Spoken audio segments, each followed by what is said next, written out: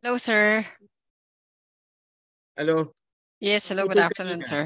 Opo, ah nag-restart lang ako. Ah, Naglolo ko yung internet. Anyway, we have participants na.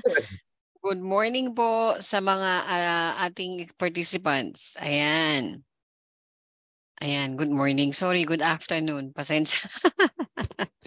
Magmamadali after ng meeting ay medyo na traffic. Ayan. So, today is a continuation ng ating technical analysis. Tama ba, sir? Tama, no? yes, yes. Okay, so doon sa mga kahapon na hindi natapos yung questions nyo, pwede nyo pong ah, continuation po ngayon, pwede nyo pong i-continue yung inyong mga tanong. And ah, para po matuto yung iba, actually kaya po yung iba umaattend is because ah, natututo po sila sa mga questions ng iba na umaattend sa atin. So sige po, invite lang po kayo. We still have six minutes to start. So baka po meron pa kayong gustong i-invite and ah, yung mga umattend po kahapon, iniintay lang din natin ngayon. Ah, I'm here for my second session. Ah, si Sir Neil, ayan po. Welcome Sir Neil, ayan po. Ah, pamangkin daw yan ni Pastor Shem. O pamang, pamangkin ng misis ni Pastor Shem, si Sir Neil. Kung hindi ako nagkakamali. Ayan. Welcome Oh, po si. Ma'am yan, si Sir Leonito, welcome po si Ma'am Lolita, si Ma'am Mary Jane. Ah, good evening po Ma'am ah, Sir Melesio. Ayan. Ah, si Ma'am Nelisa nandyan ulit. Si Sir Vincent, ayan po. Ang ah, ating mga ah, kasama sa GC. Si Sir John Harold, andito ulit. Si Ma'am Christine. Thank you po sa pag-attend, no? At I hope guys na patuloy kayong umattend sa ating webinar. Sabi ko nga, may natututunan po tayo on a daily basis sa pag-attend natin or sa every time na uma-attend tayo doon sa ating, ah, dito sa ating webinar. Okay? So siguro tomorrow as ah, sabi nga natin yung computation ng lot size nung ah, volume and paano kino-compute yung SL kung paano kayo maglalagay ng SL. Alam ko nabanggit na ni Sir Nathan yan but at least continuation ng ating ah, pag-aaral. Yung continuation pati yung pag-compute ng pips, ano bang pips at saka points. Ayan para po maintindihan natin bago matapos yung ating webinar. Last day po natin tomorrow, so please guys attend and uh, again, yung ating uh, certificate will be given to you basta nakalima kayong attend ng webinar. And please use your complete name or real name para naman po hindi tayo nangangapa kung kanino, kanino natin isi-send yung ating mga certificates. Okay? So, meron ba tayong bago ulit? Meron ba tayong bago? First timer? First time na umattend ng webinar ng Forex Trading at first time sa Tickmill na umattend ng ating session tonight? Meron po ba? Walang sumasagot. So lahat mga batikan na sa ating makikinig at nanonood ng ating webinar at umaattend. Wala tayong bago. Ma'am, yung bang sa index kasama na din, ano daw? Din lagay ng equity margin, free margin balance ma-discuss. Ah, yung bang, ano daw to Sir Nathan? Ma'am, yung bang sa index kasama na din, paki-rephrase nga Sir Melesio yung ating ano, uh, to leave, well, uh, uh, mag-re-enter po ng nag-echo sounds. Yes po, Ma'am Lolita, go ahead. Ah, Sir Melesio, paki, ano po, ah, ulit yung tanong para masagot po natin ng maayos. Medyo naguluhan po tayo. Ang gusto niyo po bang i-discuss yung mga balance, equity, ah, free margin, ah, ayun, ma-discuss. Opo, ano po yung mga, yes po, pwede po i-discuss later. Kasama po yan sa technical natin. Para masagot din ni Sir Nathan, okay?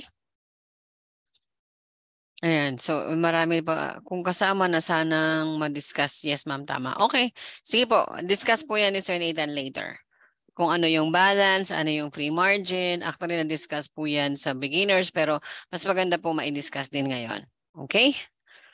Balance, uh, equity, uh, margin, free margin, and uh, percentage, uh, free, uh, free margin percentage. Okay?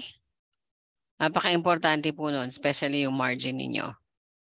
At volume, opo. Yung volume po yung uh, kung lot size na ita-trade po natin.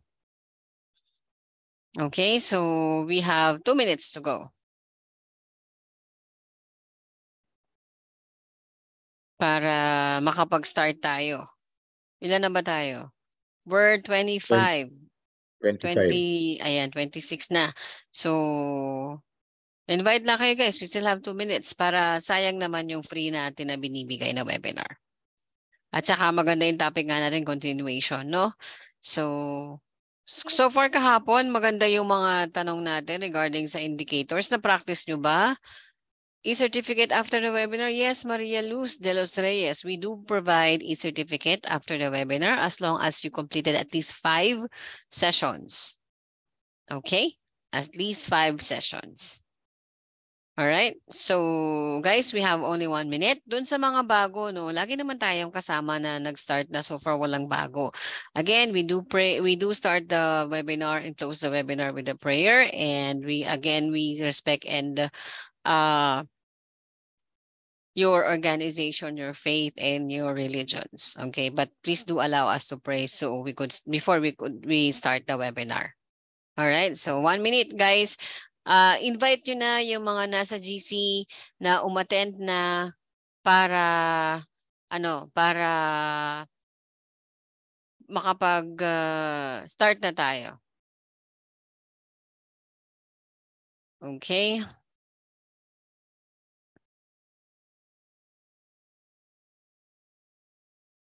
Ayan.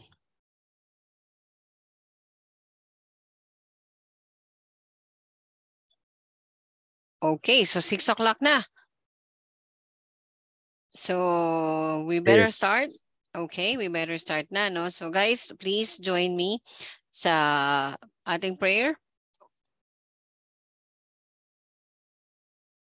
Okay, Father God, we thank you for this wonderful night at marami na naman po kaming nakasama ngayong webinar namin. Please uh, provide us and give us wisdom and knowledge sa pag-intindi ng aming discussions. Same with uh, Sir Nathan. So uh, let him share his experience po and knowledge sa pagtuturo. And uh, we hope, Lord, na maintindihan namin ng mas mabuti at ma-share namin sa iba kung ano man ang aming matutunan ngayong gabi. Lord, um, give us sound mind para mas madali po namin maintindihan ang lahat ng magiging topic at mai-apply po namin sa aming pang-araw-araw na pagtitrain.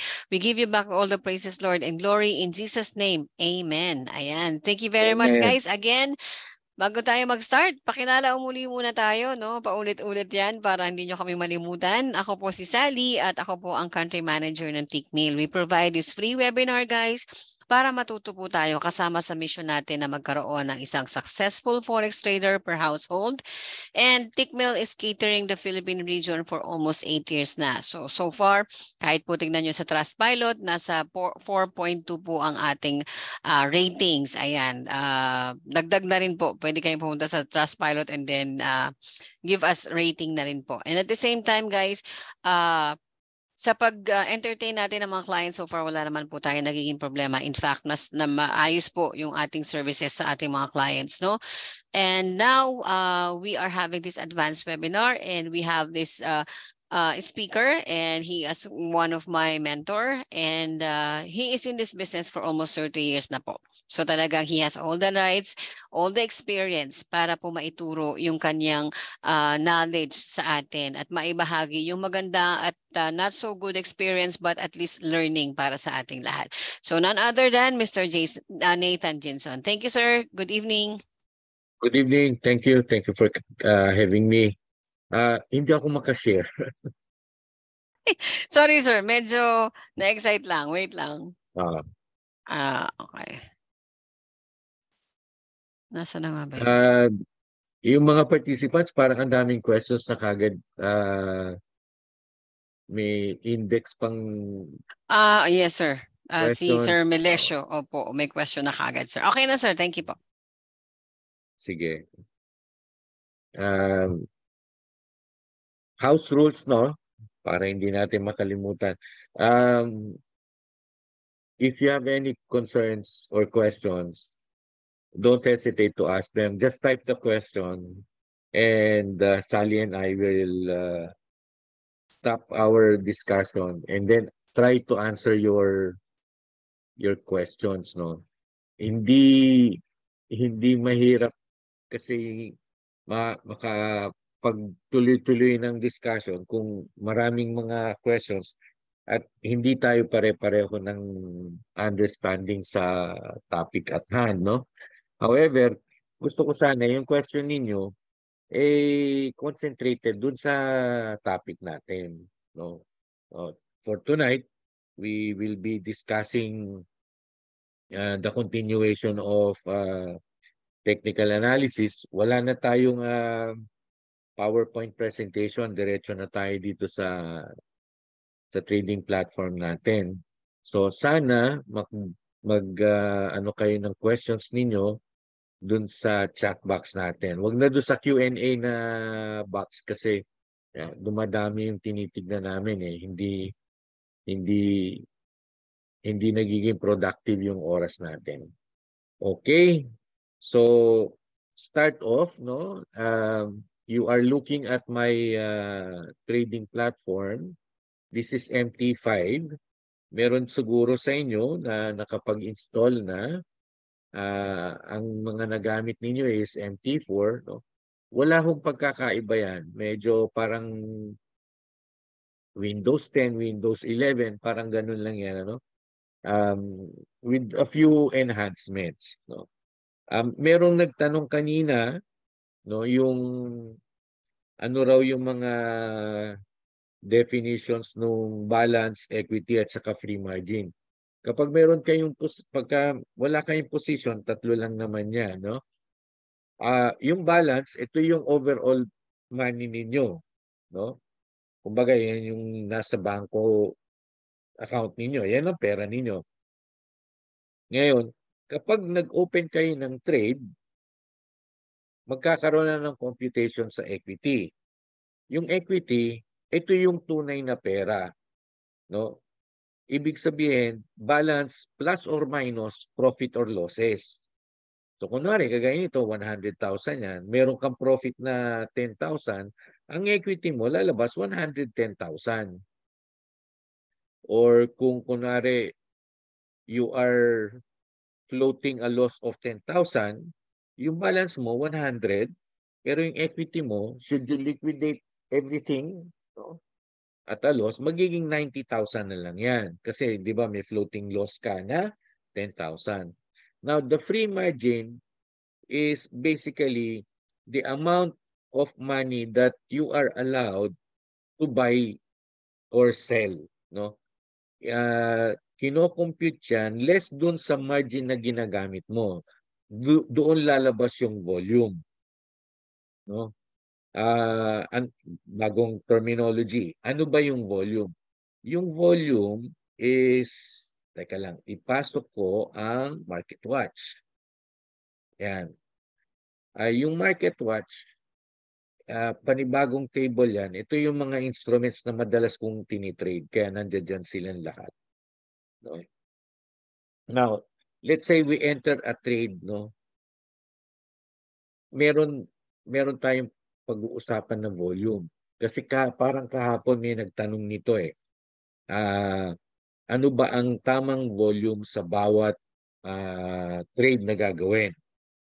Sa akin kasi, no, kinasanayan ko na na parating regular volumes yung tinitrade ko. Kaya ang volumes ko, normally nasa 10 or nasa 15 or nasa 20 no? But the general rule is basically you you use 10% of your uh, capital.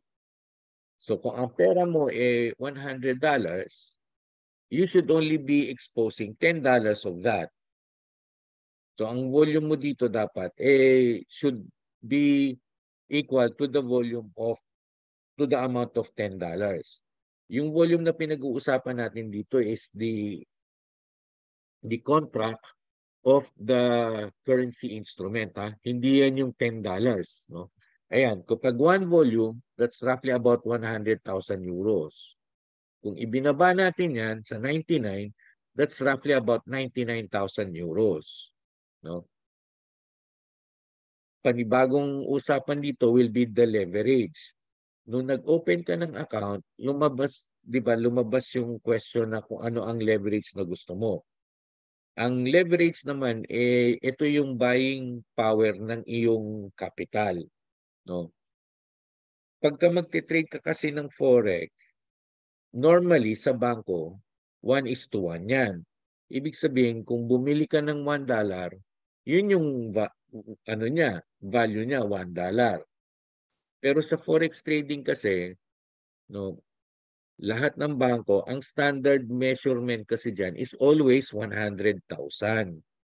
Ano yung 100,000? Let's talk about euro. Kapag bibili ka ng magbebenta ka o magbibili ka ng euro, it's always 100,000 euros. Do you follow?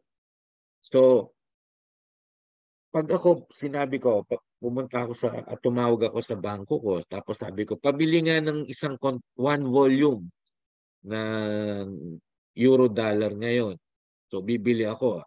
Mabibili ko yan sa 1.06852. No? That means that I have bought 100,000 euros at the value of 1.06857 at that particular moment. So, magkano yun in dollars?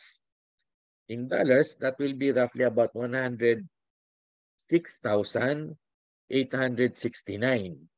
no? dollars. So medyo malaking pera. Magkano yung 106,000 kung parang 5 million. That's one contract. Ang problema, hindi naman tayo lahat Pilipi lahat na Pilipino eh we, can easily expose 5 million, 6 million pesos, di ba? So dito ngayon pumapasok yung mga brokers. Paano paano nakakatulong yung mga brokers? Kasi sila ang magko-cover ng 100,000 euros. Kapag ang iyong leverage is 1 is to 100, ibig sabihin nun, yung 1 dollar mo is controlling 100,000 uh, at stake, no? So, what, in this case, it's going to be 100,000 euros. So, basically, ang kakailanganin ko na lang kapag ako nagtitrade sa broker is $1,068 and 73 cents. Uh, mahirap i-explain kapag sa webinar kasi walang walang tawag dito whiteboard. No? So so 1 is to 100 na leverage. Bibili ako ng 100,000 euros. 'Di ba? 'Yun yung usapan do sa volume ko eh. Pero imbis na $106,000 ang ini-expose ko, ang kailangan ko lang i-expose sa aking capital is $1,068.79. Do you follow? So, kaya na ng pera ko, di ba? Medyo can afford ko nang bilhin yung one contract or yung one volume. Now, what more kung 0.99 or 0.1 or 0.3? Mas malaki na. Diba? Mas malaki na yung buying power ko. Compared doon sa magte-trade ako sa bangko, eh ang buying power ng pera ko is 1 is to 1. Diba? So pag sinabing 1 is to 1, eh tuwing bibili ako ng euro, I need to buy $106,879 just to buy one volume of euro. Now, in a broker, 1 is to 100 dyan, nahit nahati natin yung ano, yung yung buying power niyan. Ang buying power ko is times 100. Kaya nga naging 1 is to 100. Yung 1 dollar ko can accommodate 100 dollars. Eh since we're talking about euro, edi kung bibili ako ng 100,000 euros, that will require me 1,068 dollars and 81 cents. Gets nyo na? So, na-discuss na rin natin yung volume at saka yung yung leverage, no? Kaya nga, ang leverage ni, ng mga ibang brokers, umaabot pa nga sa as high as 1 is to 1,000. Pero sobra-sobra na yun. Parang ang laki-laki na ng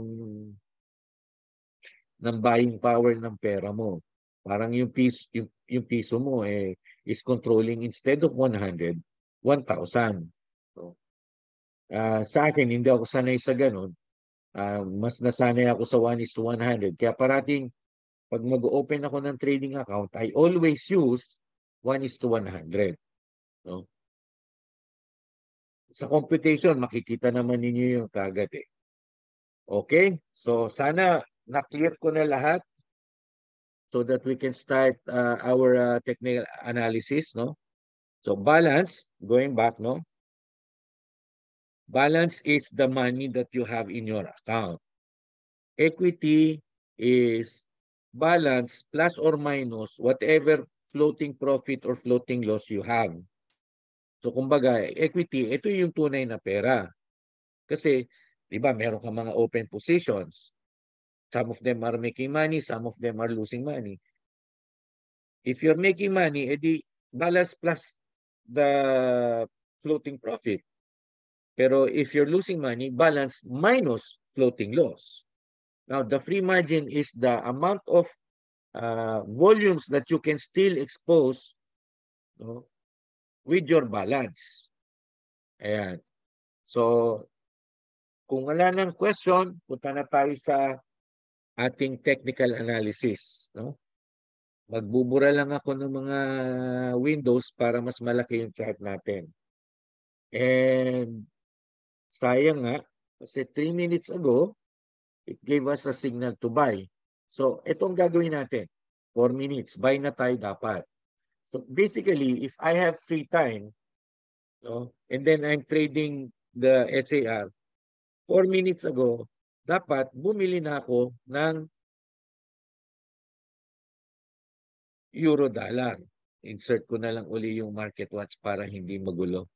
So, to do this, No? Kunwari, hindi pa nag-ano, bago pa lang yung dot, I double click this, make sure that all of my parameters are correct. I'm trading euro dollar, market ko is always market execution, volume ko is 1. So, buy at market. So, ibig sabihin nun, kung ano presyo nung ng euro dollar at that very, very moment, eh bibiling ko na. Yan ang ibig sabihin ng buy at market. So, Ayun, meron ng arrow indicating kung saan ako bumili. Balik ko na rin din pala ang terminal. Toolbox ko. Ayan. If you will notice, nagbago na ang aking uh, balance no at equity. Equity ko gumagalaw, yung balance ko hindi. At yung margin ko nadagdag, no? Ano, ano, nadagdag yung margin. Di ba kanina free margin lang. Nadagdag yung margin. Bakit nagkaroon ng margin? Ang ibig sabihin niyan, magkano sa aking kapital ang ginagamit ko when I ordered a buy order for, at on the euro dollar. So I'm using $1,069 and 01 cents. Do you follow? So i-minus natin yung 99,000 na balance ko minus the margin is now my free margin. 98,911.85. Kung makikita nyo, itong free margin at saka yung margin hindi gumagalaw. Unlike the equity. Kapag lumalaki yung loss ko, lumiliit ito. Kapag lum lumalaki ang profit ko, lumalaki ito minsan lalampasan pa yung balance. Pero uh, right now, hindi siya malampasan kasi naka-float pa ako ng $13. Ayan. So, that is okay. If you will notice, wala ako stop loss. Kasi, kaya ako wala stop loss kasi ang pinaka-stop loss ko is already my parabolic SAR. Ano yung parabolic SAR? Yung value niya is 1.06856. So it really makes no sense kung ilalagay ko pa rito yung stop loss ko na 1.0 ano na nga ba yun? Ayan, teka, cancel ko to. Tapos, di ba, may, may bagong dot na eh.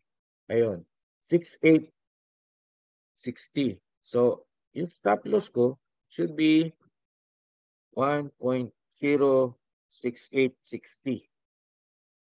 And then, I put it Ba't ayaw? Ayun. Para malagay sa dito. Ah, ayaw na. Kasi nagbago. And if you will notice, I should now liquidate this. Bakit? Kasi meron ng sell order sa labas, sa taas. So close ko to. So ito na yung balance ko ngayon. Equal with my equity and my free margin. No? So since one minute ago, uh, this mo very moment, nagbigay na ng sell order, what I do now is I sell at market. Ayan. So I will wait for the price. Uh, sorry, yung Google speaker ko bigla akong binulungan. Um, ayun. So kanina, di ba, nakabay ako. Ngayon, nakasell na ako. Bakit ako nag-sell? Kasi sinabi sa atin ng parabolic SAR two minutes ago is na mag-sell na ako. Yan. I will hold on to that until magbago uli. Now, do I need to put in the stop order, the stop loss? Hindi na. Although, kung medyo running kayo, ito yung stop loss natin, 1.06905. Walang take profit kasi market order yung ano natin. So, lalagay natin dito yung stop loss natin na 1.06 1.06 uh, ano ba yun? 06095. Ayun. It, but it makes no sense, no? Sayang lang naman yung effort mo ng ganyan. Di kasi, on the third minute, nagbago na naman uli. O 093 na. At 903 na. Kanina, 905 eh. Ayun. O. So, umusog ng 2 points. So, maglalagay pa ba ako? Hindi na. Babantayan ko na lang yung parabolic SAR. Do you follow? Walang question so far. Very good. Kamusta? Ah, yun, biglang meron nagkaroon ng question. If it was done with a live account, is there a delay when opening, closing orders? No, Neil, wala. Kung ani, pagka live yan, ganyan talaga yung nangyayari. No. Ano yan? Dire-diretso yan. Walang delay. Uh, si Len, sir, is it good for scalping lang po? Tama. Yes, it's good for scalping. If you notice, wala pa siguro tayong 13 minutes. Wala pa 30 minutes pero nakadalawang trade na tayo since we started. Diba? So hintayin ko lang, no? For four dots na. So saan na napunta yung pinaka fourth dot? Ang hirap kasi laki ng yan. Hindi ba tayo lumabas? Minsan ma madali palapasin, minsan ang hirap.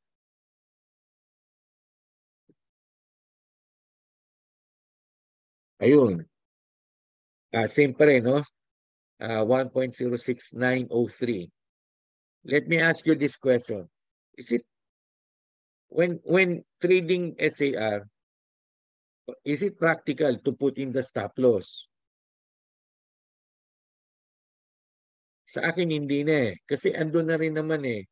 Pag, pag yung dot, naglagay sila sa ibaba, de, all I do is I just close the order and then create a new order by buying. Kasi buy order, buy, buy signal na yung ano eh. Yung dot, di ba? Uh, tama, Bilen. Kanya-kanya, no? Pero kung planning ka, gusto mo ilagay yung stop loss, madali lang. Kunin mo yung, yung dot, yung value ng dot, and then you put in the stop loss. Pero Tama ka, Belen, hindi na practical, hindi na logical. Kasi pagka yan nag, naglagay na ng dot sa ilalim, the, all I need to do is to liquidate it, no? profit or loss. Pero tingnan ninyo yung ano, di ba kahapon eh, hindi naman ganito kalalim yung bagsak ng euro dollar. Pero tingnan niyo no, halos lahat ng mga sell order, it's a downtrend. Halos lahat ng sell order eh malaki yung ano, yung yung naging profit potential. Yung mga buy orders, since downtrend siya, it really makes no sense to trade the buy order. But it's really up to you. Merong question, what is the time frame suitable for the uh, parabolic SAR? For me, it's one minute. And if you will notice, we are on one minute. Ayan. So, this is how we will be using the parabolic SAR. I have a question. Is it hard to interpret or to use the parabolic SAR? Dalawa lang naman ang question dyan, yes or no. Diba? And look now, we are now making $10. Nine. Yun. So, no. Di ba hindi na madali lang? Nasa sa inyo naman siguro yan kung gusto nyong i-complicate. Kasi kahapon may mga tanong na uh, pwede ba akong gumamit ng iba pang mga indicators in conjunction with uh, the parabolic SAR? The answer is of course yes. Kasi ikaw naman ang magte-trade. Ikaw naman ang magde-decide kung ano yung gusto mong i-trade dyan. Ang ano ko lang, kumbaga caution ko lang, eh, para sa akin, medyo mahihirapan ka. Hindi na naman, you are complicating eh, the, the, the situation. Kasi kapag dalawa yung iyong analytical tool na ginagamit, it is bound to happen that one will give you a buy signal, the other one will give you a sell signal. So alin doon na susundin mo? Di ba? Tama si Christine, bantayan mo lang. Remember, if you have the free time, then this is how we are going to trade the market, no? In the in the 25 minutes that we have been discussing this matter, eh nakadalawang trades na tayo. One eventually made a loss. Uh, paano mo malalaman? Punta tayo sa history. Ayan, palo tayo ng $44. So, hopefully, kainin niya ngayon, no? Now we're making $29, no? Eh, habang nagkakapi ka, easy-easy ka lang. All you have to do is to monitor the dot.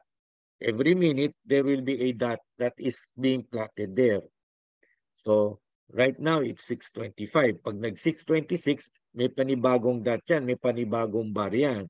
That new bar, within the minute, will create the high, will create the low, will create the closing, no?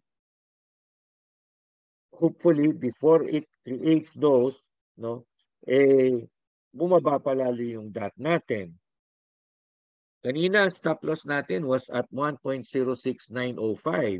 Ngayon, ang stop loss natin is now at 1. See? Ayan. 1.06880 na. Diba? So, parang sayang naman. Ilalagay pa ba natin? Eh, umuusog kasi ng umuusog yan eh. And remember, we're trading it on one minute. So, every minute, i-amend mo yung stop loss mo. So, wag na natin ilagay. Hindi naman ano eh. Ang pinaka-stop and reverse natin dyan eh, kapag yung dot sa ilalim na. Ayan, sir, ano po ulit ang setting ng parabolic SR? Tsaka po, kahit po ba ranging market, okay lang ba siya gamitin kahit sideways ang movement? Yes, Glenn. Actually, yun nga yung perfect niyan eh. Kagaya na nga sinabi ko, no?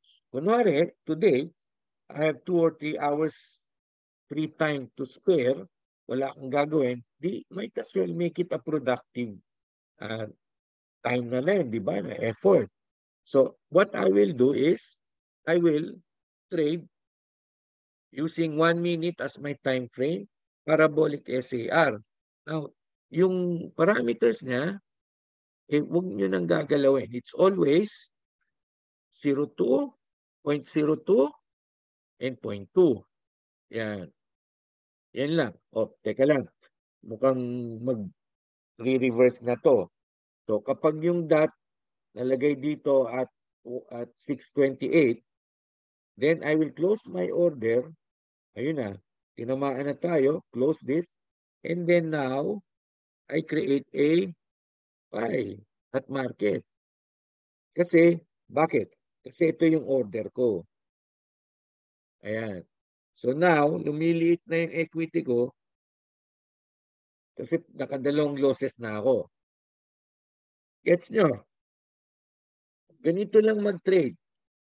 Baka sabihin nyo, ay, puro losses naman ng SAR. Yes, it happens.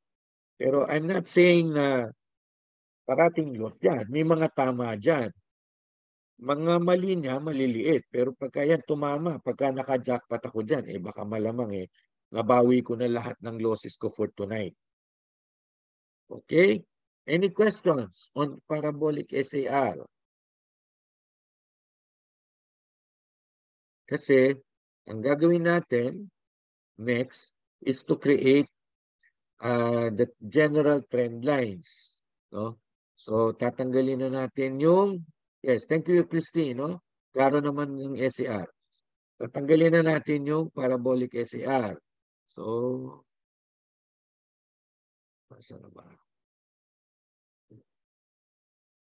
Ayun. Ayun. So, tanggalin natin ang SAR. Delete. Balik na lang natin mamaya. Bakit ko ginawa yan? Kasi gusto kong gamitin ang trend lines. So, mag-create ako ng trend lines ko dito. Ayan. Para, hindi, dapat may, merong SAR, sorry. Bakit kailangan may SAR? Meron tayong open trade eh. Eh, eh yung open trade natin nakasalalay sa decision ng SAR. Ayun. Now, why did I put the the line here? Kasi may mga ibang traders na gusto gamitin support and resistance lang. So kung ganitong situation, uh, yung support and resistance, di ba diniscuss na natin ito last, I think yesterday, no? Ayan ayusin ko lang para at least ma medyo mas clear no? Now there are traders that use support and resistance lang. So if you're one of the traders that only use support and resistance you are not in the market siguro at the moment kasi you will have to wait for the price to near this line and then once ayan ang trend line uh, is 1.0684. So, dapat ang presyo lumapit doon sa 84 na yan. Right now, it's at 63. 64. Now, let me ask you this question. Ah, sorry ah. Namamaos ako. Let me ask you this question. Based do sa ating pinag-usapan sa mga general trend lines, what position should I be doing when it when it is time to enter a trade for five points. Yun, tama si Merly. No, Sel, tama si Len, si Luca. Yun, yan ang gusto ko. Lahat kayo, isa atin, sinasagot ninyo. Si Algan, Alganion, Selden. Sandali, inom lang ako tubig.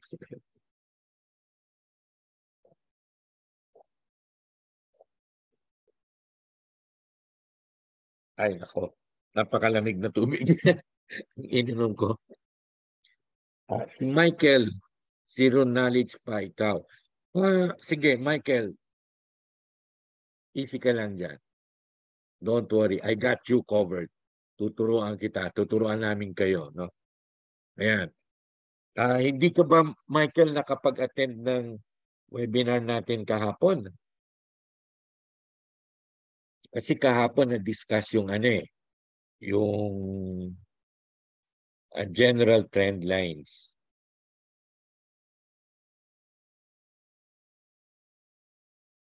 Uh, ano to, now ko pa nakta to sir. Uh, medyo mahina ako makaintindi ng ganyan. Are you implying now ko pa nakita ito? Anyway, rephrase your ano para maintindihan natin. Ah, uh, ayun, ngayon positive $2 na siya, no? So, hanap tayo ngayon ng iba pang instrument na magandang tingnan ngayon. Ito, ayan. Let's now look at the uh, Swiss franc. One minute din siya. Dito naman, gagawa ako ng aking general trend line. Ayan. It's rough, no? Pero if you want to adjust it, double click and then i-drag nyo lang yung white dot na yan, magagalaw nyo pa yan. Ayan, see? Pero assuming ganyan And if you will notice, ladies and gentlemen, my line is extending into the future. Now, ang kagandahan nito, no, since extending into the future, hanggat uptrend line siya, edi I, I am a, every time I enter a trade, meron, merong, meron, meron tayong ano dyan, di ba? Ruling. Meron tayong rules to follow, di ba? dito sa chart na to, if I'm going to trade the euro dal, the U, uh, the dollar franc,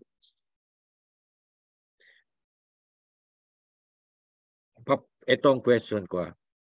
Mag-enter na ba ako ngayon? Dalawang sagot lang yan. Yes or no lang yan. Teka. Mali. Eh, ba't ayaw uma umalis?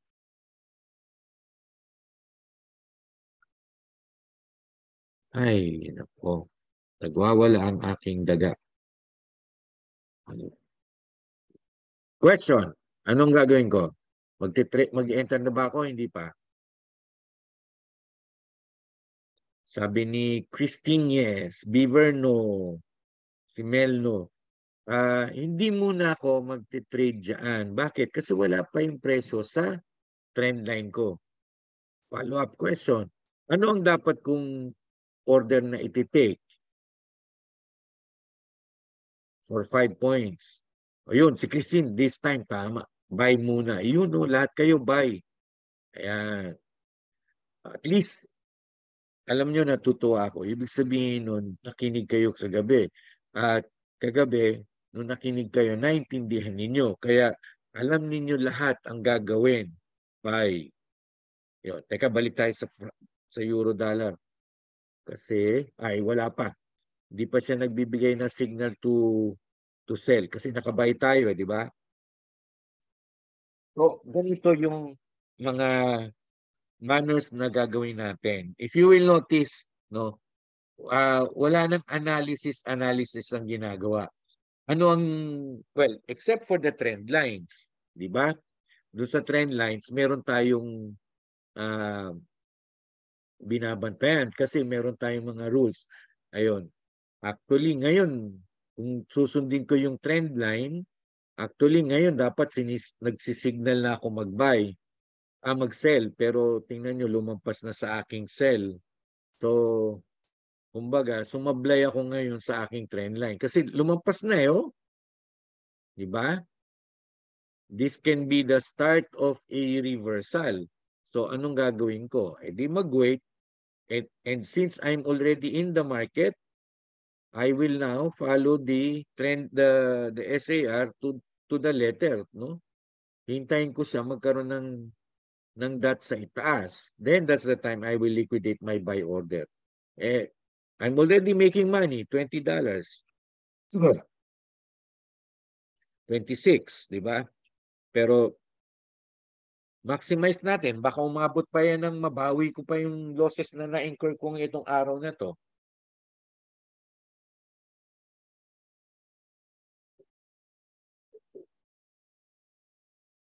Ayun. Meron ako mga traders no na Siyempre, pinag-usapan na namin yung SAR, sabi nila, Sir, ganito gawin natin.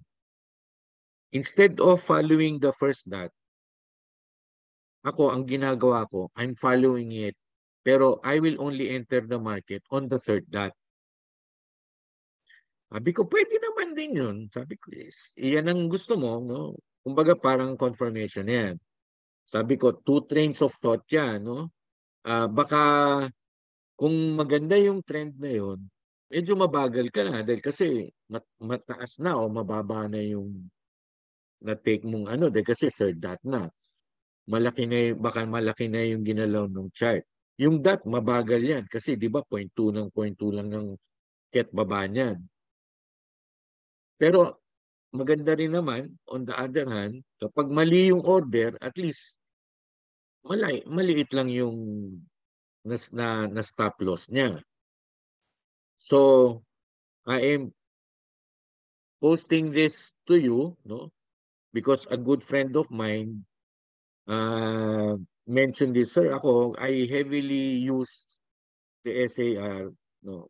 Even on my own money. But for me to, ano, to enter the trade, I will wait for the third dot, no? As confirmation. Kumbaga, naninigurado siya. No? Kasi kung titingnan nyo, merong dalawang dots lang dito. So hindi siya nakapasok ng order na yan. Ayun, isang dot lang. Ito, dalawa.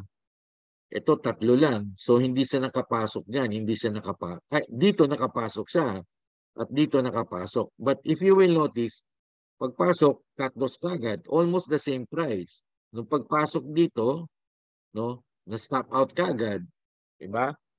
So maganda rin yung ano niya, no, yung kanyang uh, strategy. Kasi, kumbaga, may konting delay lang, pero yung delay na yon uh, saved him enough money, no? To the point na yung stop out niya, yung cut loss niya, eh, hindi ganun kalaki. Eh, sa akin, di ba, nung, nung lumabas yung dot, reverse na kagad. Tapos enter tayo ng panibago. Di ba? So, sa kanya, ganun ang ginagawa niya. I'd like you to try it out. No? Tingnan ninyo. Baka na makatulong. At walang sabi-sabi. Tingnan mo naman ang kwentuhan natin. No? Eh, na $52 na tayo as a profit. Now, if we are going to liquidate this, eh, pwede na. Pero why will I liquidate it? I will just let the parabolic SCR to tell me when to liquidate it at a profit.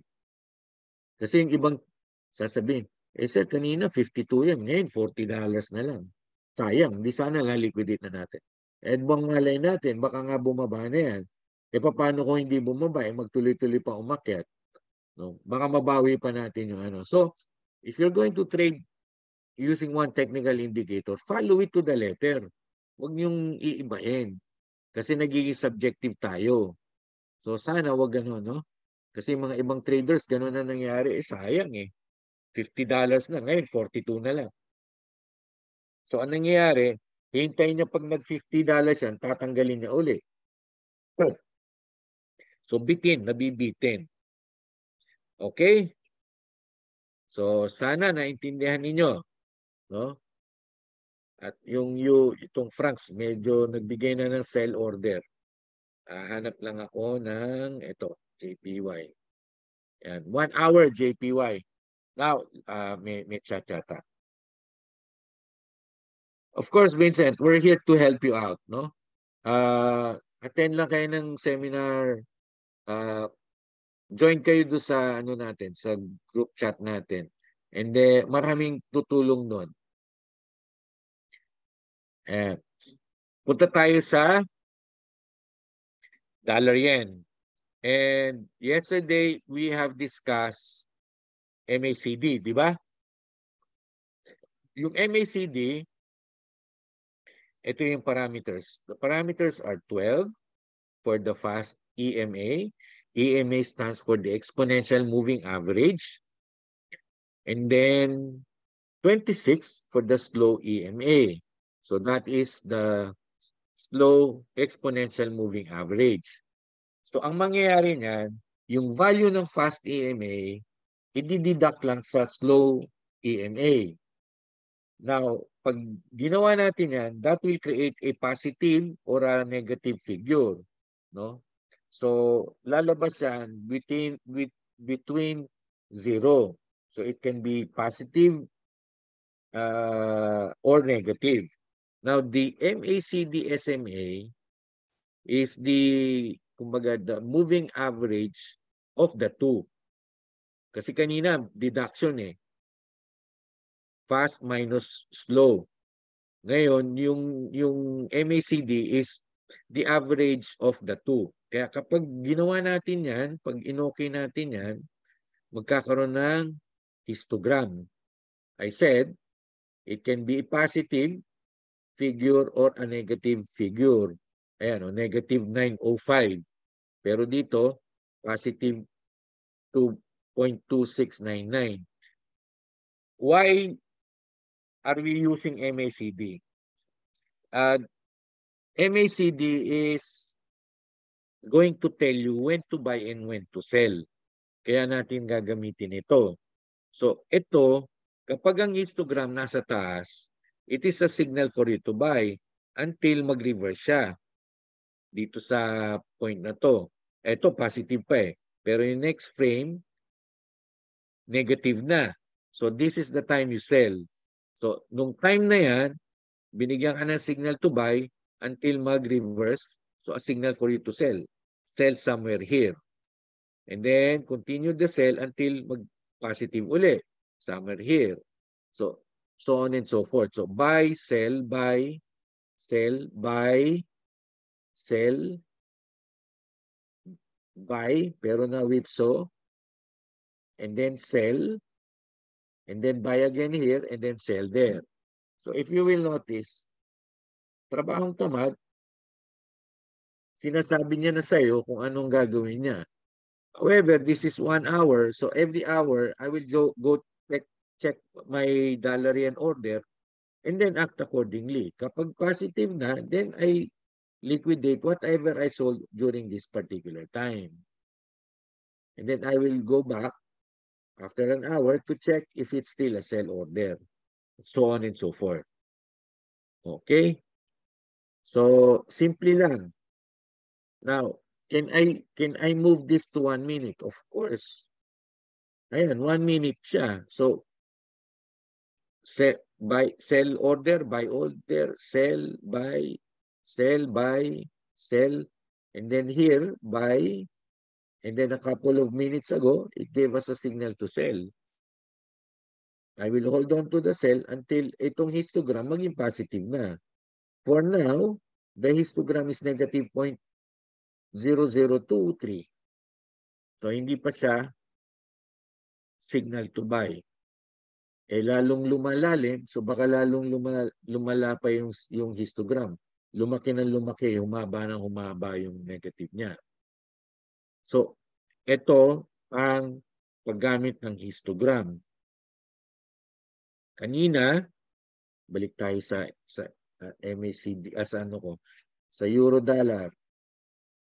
Ayun. 76, 77. Halos bawi ko na. Ayun o, 104 na ako. Up na ako by $4, by 3. No?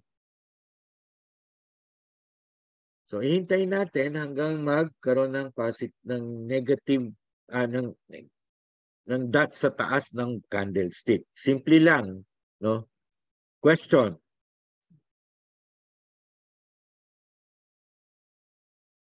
Is the SAR good for scalping trades? Yes or no lang yan. Eh, yes, di ba? Oo, tama na. Ayun. Ang ang sarap nitong grupo na to, no, isa lang ang iniisip. Yan. Kasi nakikinig. 'Yon. So sana no, kung may free time kayo, no, ladies and gentlemen, I'd like you to try this out. That way, may medyo magkaroon kayo ng confidence. Meron ba sa inyo kinakabahan mag-trade gamit itong mga indicators na to? Bakit kayo kakabahan? Eh, ito na nga, no? it's just telling you that it is going to give you a a signal when to take those orders when to buy and when to sell. It doesn't necessarily mean that you have to monitor the prices. It, ako, tingnan nyo nga, oh, pinagpapawisan si Shem. pinagpapawisan ng dugo. Ayan, si Shem. Si Shem, matagal na yan nagtitrade, pero tingnan nyo, pinagpapawisan pa rin siya. Uh, I wonder why. Uh, Christine, pwede pong ma-explain kung ano yung iba't ibang trade like ponong scalping, ano po ibig sabihin nun? Uh, pag sinabi ko, Christine, na iba-ibang trade, uh, may time na kasi na nag tinitrade ko yung yung ibang yung ng ibang client, no? So, kapag ganun yung situation, I try to be more objective, no? Kasi, siyempre, pera na ibang tao yon So, to be as objective as I can, I'm, I'm using the parabolic SAR in its simplest form. Wala nang ibang uh, nakahalo dyan. Even this uh, trend line, dapat nakatanggal yan. No, delete ko na para wala nang gulo. So, yun yung trade na yun. Now, if I'm trading my own money, most likely I will be using the MACD. Kasi ito, medyo mas ma mas mahaba yung patience dito, no? And if you will notice, no, mga mahaba yung mga signals niya. And by doing that, no, mas malaki yung profit potential ko. Parang in conjunction with MACD at saka parabolic SAR. Sa parabolic SAR, siguro mga nakalimang trades na ako, pero sa MACD, nakadalawa pa lang. So, yun po yung ibig ko sabihin na uh, iba-ibang trades. No? Uh, kasi iba-ibang situation bawat client. Kasi, kasi ako, ako Christine, no? I trade my own money. So, if I'm trading my own money, uh, I, I can afford to be patient. Eh, yung mga ibang clients kasi gusto nila yung yung result mayat maya meron. So, so I hope I was able to answer the question, Christine. Si Alvin, parang madali lang po. Madali lang talaga. Pero GT pa rin po kapag actual na. Ah, uh, yun nga eh. Huwag ka maging jitter. Huwag, huwag maging jittery. Bakit? Eh, yung ano lang naman ang titignan mo eh. Yung signal lang nung nung indicator na ginagamit mo eh I'm in in this case I'm using SA, uh, SAR so there's no need for you to be jittery kasi hintayin ko lang no did you feel any emotion on my part when I made those uh, orders at a loss di ba wala kasi ganoon na talaga dapat Huwag kang maging jittery. Yun. Uh, intry ko lang to. Pag yung DOT nasa taas, di I liquidate this $79 profit. Ganun lang kasimple. Hindi, di ba? Nakadalawang trades na ako, dalawang trades na natalo, di ba? Pero now, di ba? It's making money, no? Tanggalin ko ngayon eh, apa ko ng $1. Ayun. And anytime now, tingnan mo, ang lapit na nung price do sa, sa DAT eh. So anytime now, lalabas na yung DAT sa taas. Itong gagawin natin. So i-try natin yung, yung, yung tip ng kaibigan ko. Pag yung DAT umakyat, siyempre that's the signal for me to sell na. Di ba? Kasi nakabay tayo. And then I will wait for the third dot and then I will enter the the market with a sell. Yun. Para ano lang, may combination lang. Si Neil may question. Is there a maximum length of time I can keep on an order? No maximum time. You can hold this even up to a year. Walang ano yan. Walang issue yan dyan. Ano, Neil? But of course, since we're trading this on one minute, eh, maganda, yung minute blow by blow, eh, may resulta kagad. Kasi any minute now, pwede mag-reverse yan. Diba? Any minute now, yung dot lumabas na sa taas. So, if that happens, all I have to do is liquidate this at, unfortunately, at a profit of 82. So, up pa rin ako kahit papano. Ayun. So, ayun. Thank you, Christine. Gets na pala. Jittery sa una. Eh, pag tumatagal, eh, cool na. Ayoy. Oo naman. Enjoy ka, ano, Alvin. Wag, wag, Huwag kang kabahan dyan. Nakatu nakakatulong yung SAR. Sa parabolic SAR, need po ba na nakatutok kasi wala siyang SLNTP? Yes, Johan. Uh, like I said, no, if you have the free time, let's say, kagaya ngayon, no, I have two, hours free time, then what I will do is, I might as well make money by trading, di ba? Eh, imagine this, no, in the in the time that we started this session, we already made three trades, no? Two at a loss, one still existing now, nandun pa sa market. We're just waiting for the confirmation for the reversal. Kasi bakit ko hinihintay? Ah, tingnan mo, uh, three or four minutes ago, di ba sabi ko nung mukhang tatamaan na.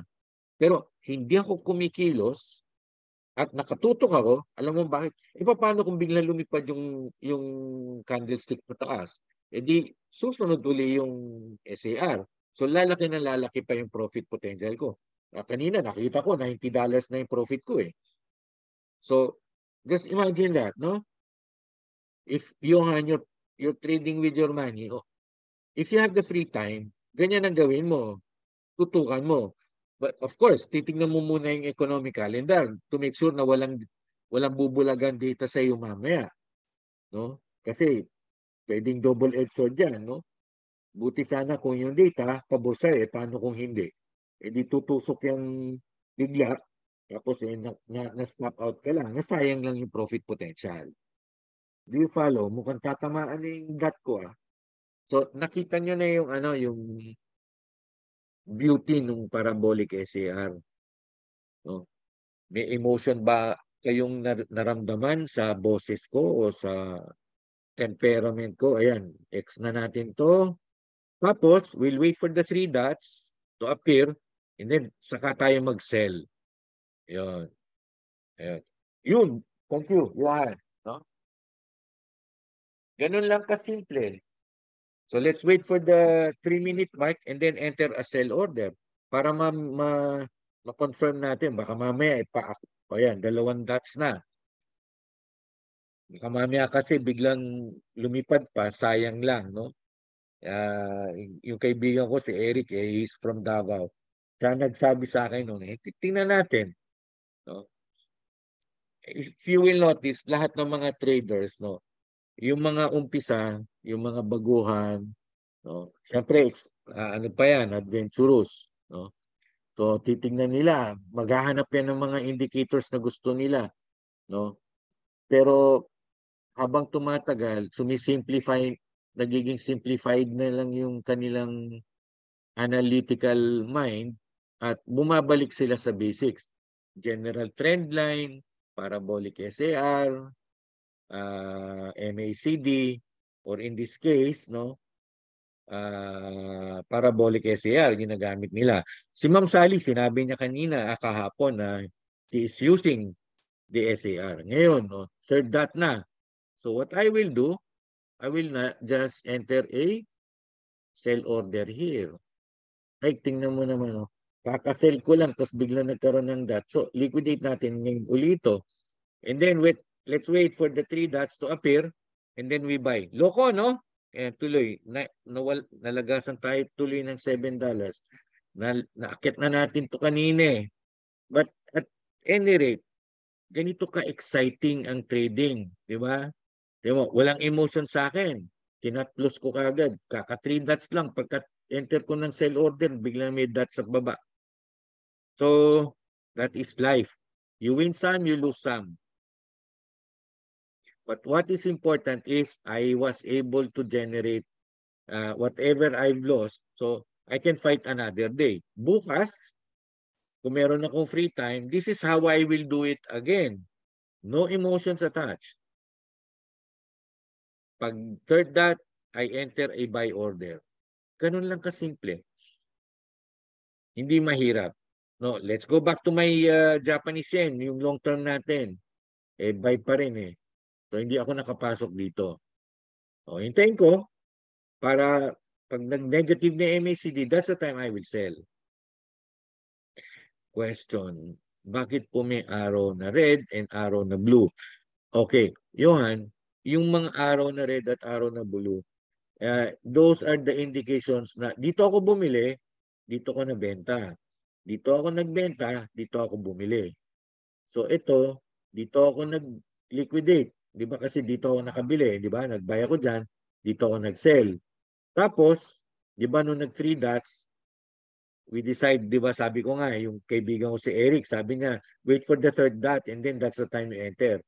Kaya nung nag-third dot, nag-sell ako. Pero lintik na yan, nag, pagka-sell na pagka-sell, yung dot naman bumaba uli. So, I liquidate it. So, nag-indicate siya sa blue. And since three dots na yan, sell na, ah, ano ba yan? Three dots sa baba. E di, matik. Buy. Ayun. So, kung mapapansin mo, Johan, nagkaroon ng, ng blue na ano doon. To, to signify para pag tinignan ko yung chat ko, ah, okay, alam ko yung mga pinagagawa ko noon. Dito ako nagwala eh. Dito ako bumili pero doon ako nag-liquidate. Dito ako nag-sell, dito ako nag-buy. Dito ako nag-buy, doon ako nag-liquidate, so on and so forth. Ayun. So, right now, we are buying. So, up na tayo ng $10, so on and so forth. We will hold on to the buy. Nakita nyo, no? Hanggang maging uh, mag-plot ng dot sa taas. Ayan. Okay, so I hope I was able to answer, Johan, your question. Vincent, buy and sell po pala ang strategy sa SAR. Yes, Vincent, buy and sell lang. Wala nang iba yan. But meron pa bang iba? Linuloko mo ako, Vincent. Di ba dalawa lang naman ang gagawin natin dyan? We buy or we sell. Len, Sir, sorry, di ko masyado na-gets ang MACD. Can you please run through it again? Okay, sige. Um, si Len sa MACD. Ayan. Linagay ko kasi sa one minute eh, pero ito yon. Um, I normally use MACD if I want to trade long term. So, in most cases, my MACD time frame is always on one hour. Now, MACD is plotted no between zero. It's plotted above or below the zero uh, line. Yung zero line, ito yun, yung, yung gitna nilang dalawa. Uh, the, the graph is in the form of histogram. Histogram is the bar above zero or a, a bar below zero. The the dotted white line is just the moving average no of the MACD no. So that is the nine moving slow moving average. Now how do I use MACD it's very simple. If the histogram no is plotted in the next hour as positive then that is a signal for me to buy dollar yen So if you will know, if you will look no, ito dito dito positive 1 positive 0.0123 that is a signal for me to buy. So nung time na yan, nung time na to, bumili ako. Tapos, magbebenta lang ako kapag nag-signal na dito. So imaginein mo, dito ka bumili pero doon ka nagbenta. Did it make you money, Len? Yes, it did. Di ba? Ang laki, oh. Laki ng ginalaw niyan. Now, from here, since wala, nag, nag-liquidate ka na ng buy mo, edi sell order na yan. So, wala ka ng or trade sa market, then you sell there. Tapos, kailan ka binigyan ng signal to buy? Well, dito. Pero na-whipso ka. Konti lang, eh, nag-sell uli. No? And then this this cell is to be liquidated here with a buy. So dito ka bumili, dito ka binagbenta. So ganyan ang paggamit ng MACD. Yan, dito ka bumili, dito ka nagbenta. Dito ka nagbenta and still, no, you're still on the selling side, no? So you just wait until mag-positive siya dito. Ayan. This is how I use MACD. Pero balik ako sa SAR dahil bakit ako negative $6? Ayun. Anyway, so balik tayo sa, sa, sa questions. Ayan. Len, I hope I was able to discuss and made you understand how we use MACD. Johan, install po ba yan or kasama sa indicator? Uh, Johan, kasama yan. When you install the MT4 or the MT5, that is already included. Ayan. So, si Christine nakasmile. Bakit Christine? Ano nangyari?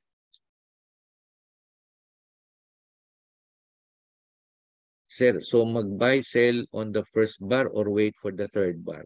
Ah, uh, bilin, yun nga, no, nag-experiment nga rin ako eh. Ah, uh, ako, I would always buy or sell on the first bar.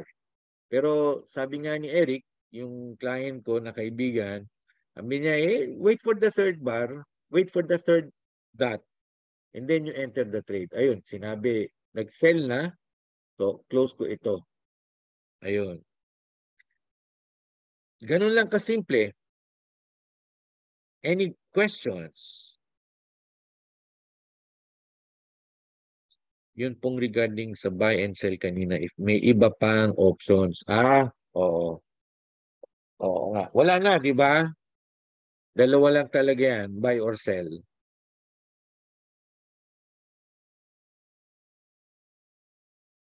Okay na kayo? Meron kayong mga questions sa ibang mga indicators? Okay, may tanong si Christine. Ano po ang purpose ng swap? Walang purpose yon pero bank order yon. Ang swap, eh, ito yung mga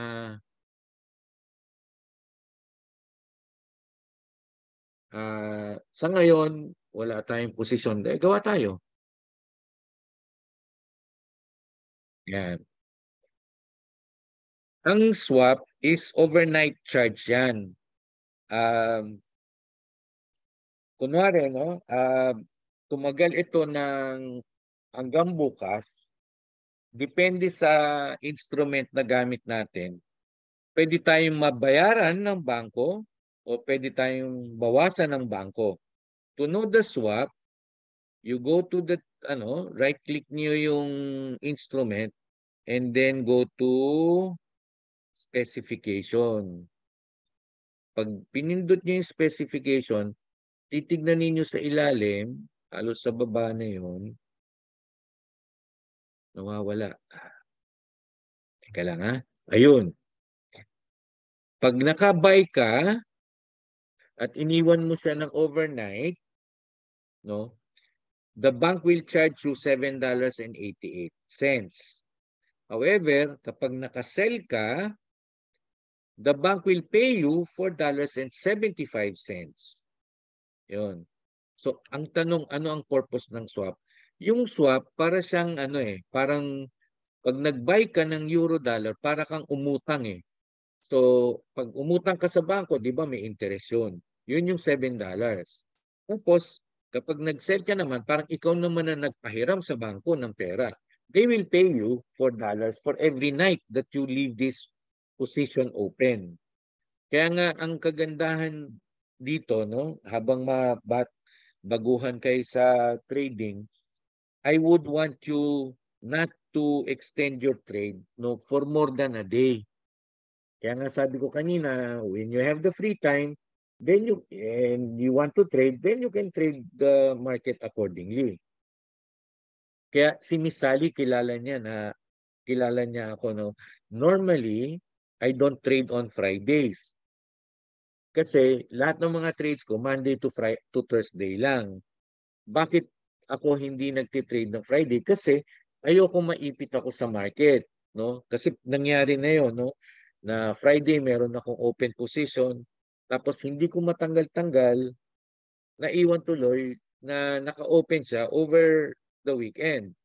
Eh kung over the weekend yan, di ilang beses akong babag kung nakabay ako ng euro dollar, eh, tatlong beses ako sisingilin ng bangko kasi Friday to Saturday, overnight. Saturday to Sunday, overnight. And then Sunday to Monday, overnight. So three. No? So $21 kagad yon sa $7 na lang, di ba? So alam ni Miss Sally, I do not trade on Fridays simply because of the fear that I might not be able to liquidate it on time, eh maipit ako, ma-charge ako ng swap. Now, the swap is not uh, invented by the broker. Hindi po broker ang nag-iimbento niyan or nag nagdi-dictate niyan. Ang nagdi-dictate niyan ay yung mga bangko. Kaya kapag ikaw magbabala ka na mag-trade no ng long term eh maghanap ka ng instrument na that will give you a high yield no kapag nag-iwan ka ng position long term. Dalawa yan. Kapag nakabay ka, ikaw magbabayad. Kapag nakasell ka, ikaw ang babayaran sa case ng euro dollar. So, Miss Christine, I hope I was able to answer the question. No? Yan yung swap. Hindi, uh, wag nyo na masyadong problemahin yan kasi I do not want you to trade long term. Gusto ko, ano kayo, guerrilla tactic. Uh, you get in and get out no within the day. The shorter, the better. No? Uh, si uh, Paterno may tanong, Sir, yung spread po ba ninyo ay pareho sa in-execute ninyong order. Hindi ko naintindihan yon. Kasi hindi po nangyari na, at nagkaroon ng gap buy or sell ng plus or minus pips. Anong trading example? Classic pro or ang pro ang maganda? Uh, sa akin, I would always use the pro. But uh, the rest of the questions, Sir Paterno, hindi ko po medyo naintindihan basahin ko ulit. Sir, yung spread po ba ninyo ay pareho sa in-execute ninyong order? Uh, how I wish, um, can you rephrase your question dahil di ko, di ko man nag-get. Miss Sally, a little help here if you can. Kasi hindi po nangyari at nagkaroon ng gap buy or sell ng plus or minus pips. I, I really don't uh, ano, I cannot figure out what uh, you're trying to say. Paki-rephrase, uh, Paterno, para maayos natin yung sagot. Si Vincent, pwede Sorry, po sir, ba hindi ko rin maintindihan. Oh. Uh, pwede ba paulit yung stochastic oscillator indicator po? Okay, sige Vincent. Uh, hanap tayo ng, okay, dollar, naka-MACD. Gold, sige dito tayo sa gold. One minute, palitan natin to ng 1 hour. Ayan. Ito yung gold, no? Let's use the stochastic uh, oscillator. Let's insert the stochastic oscillator.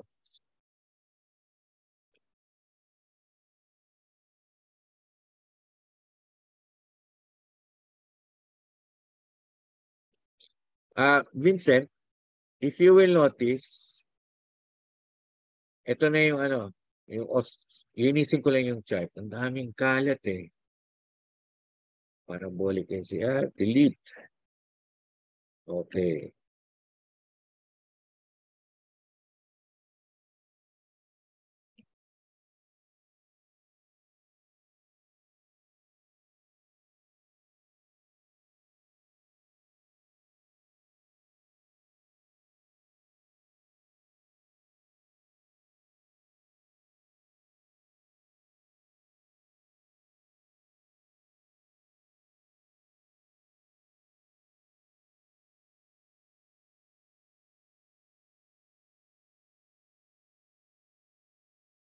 Okay, para mas malinis. Ayan.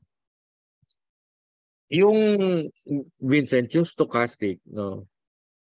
Uh, the values here is always is between 0 and 100. Hindi yan lalampas ng below 0 at hindi yan lalampas ng above 100.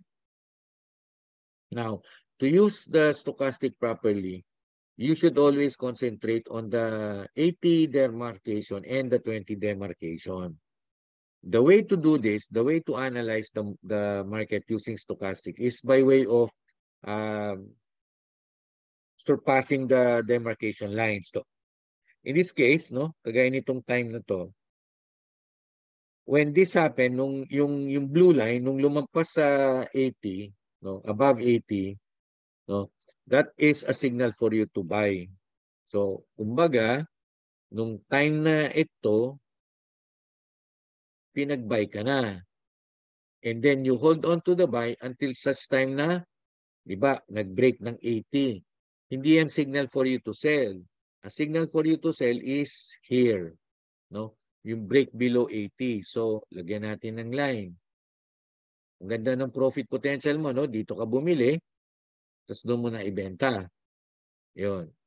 Now, di wala ka na sa market. Eh di ba ang oscillators natin, it tells you when to buy and when to sell. So since nag-fall below siya sa 80, eh di nag-sell ka dapat nung time na yan. And then you wait for it, for the line to go below 20. Kaso hindi nangyari.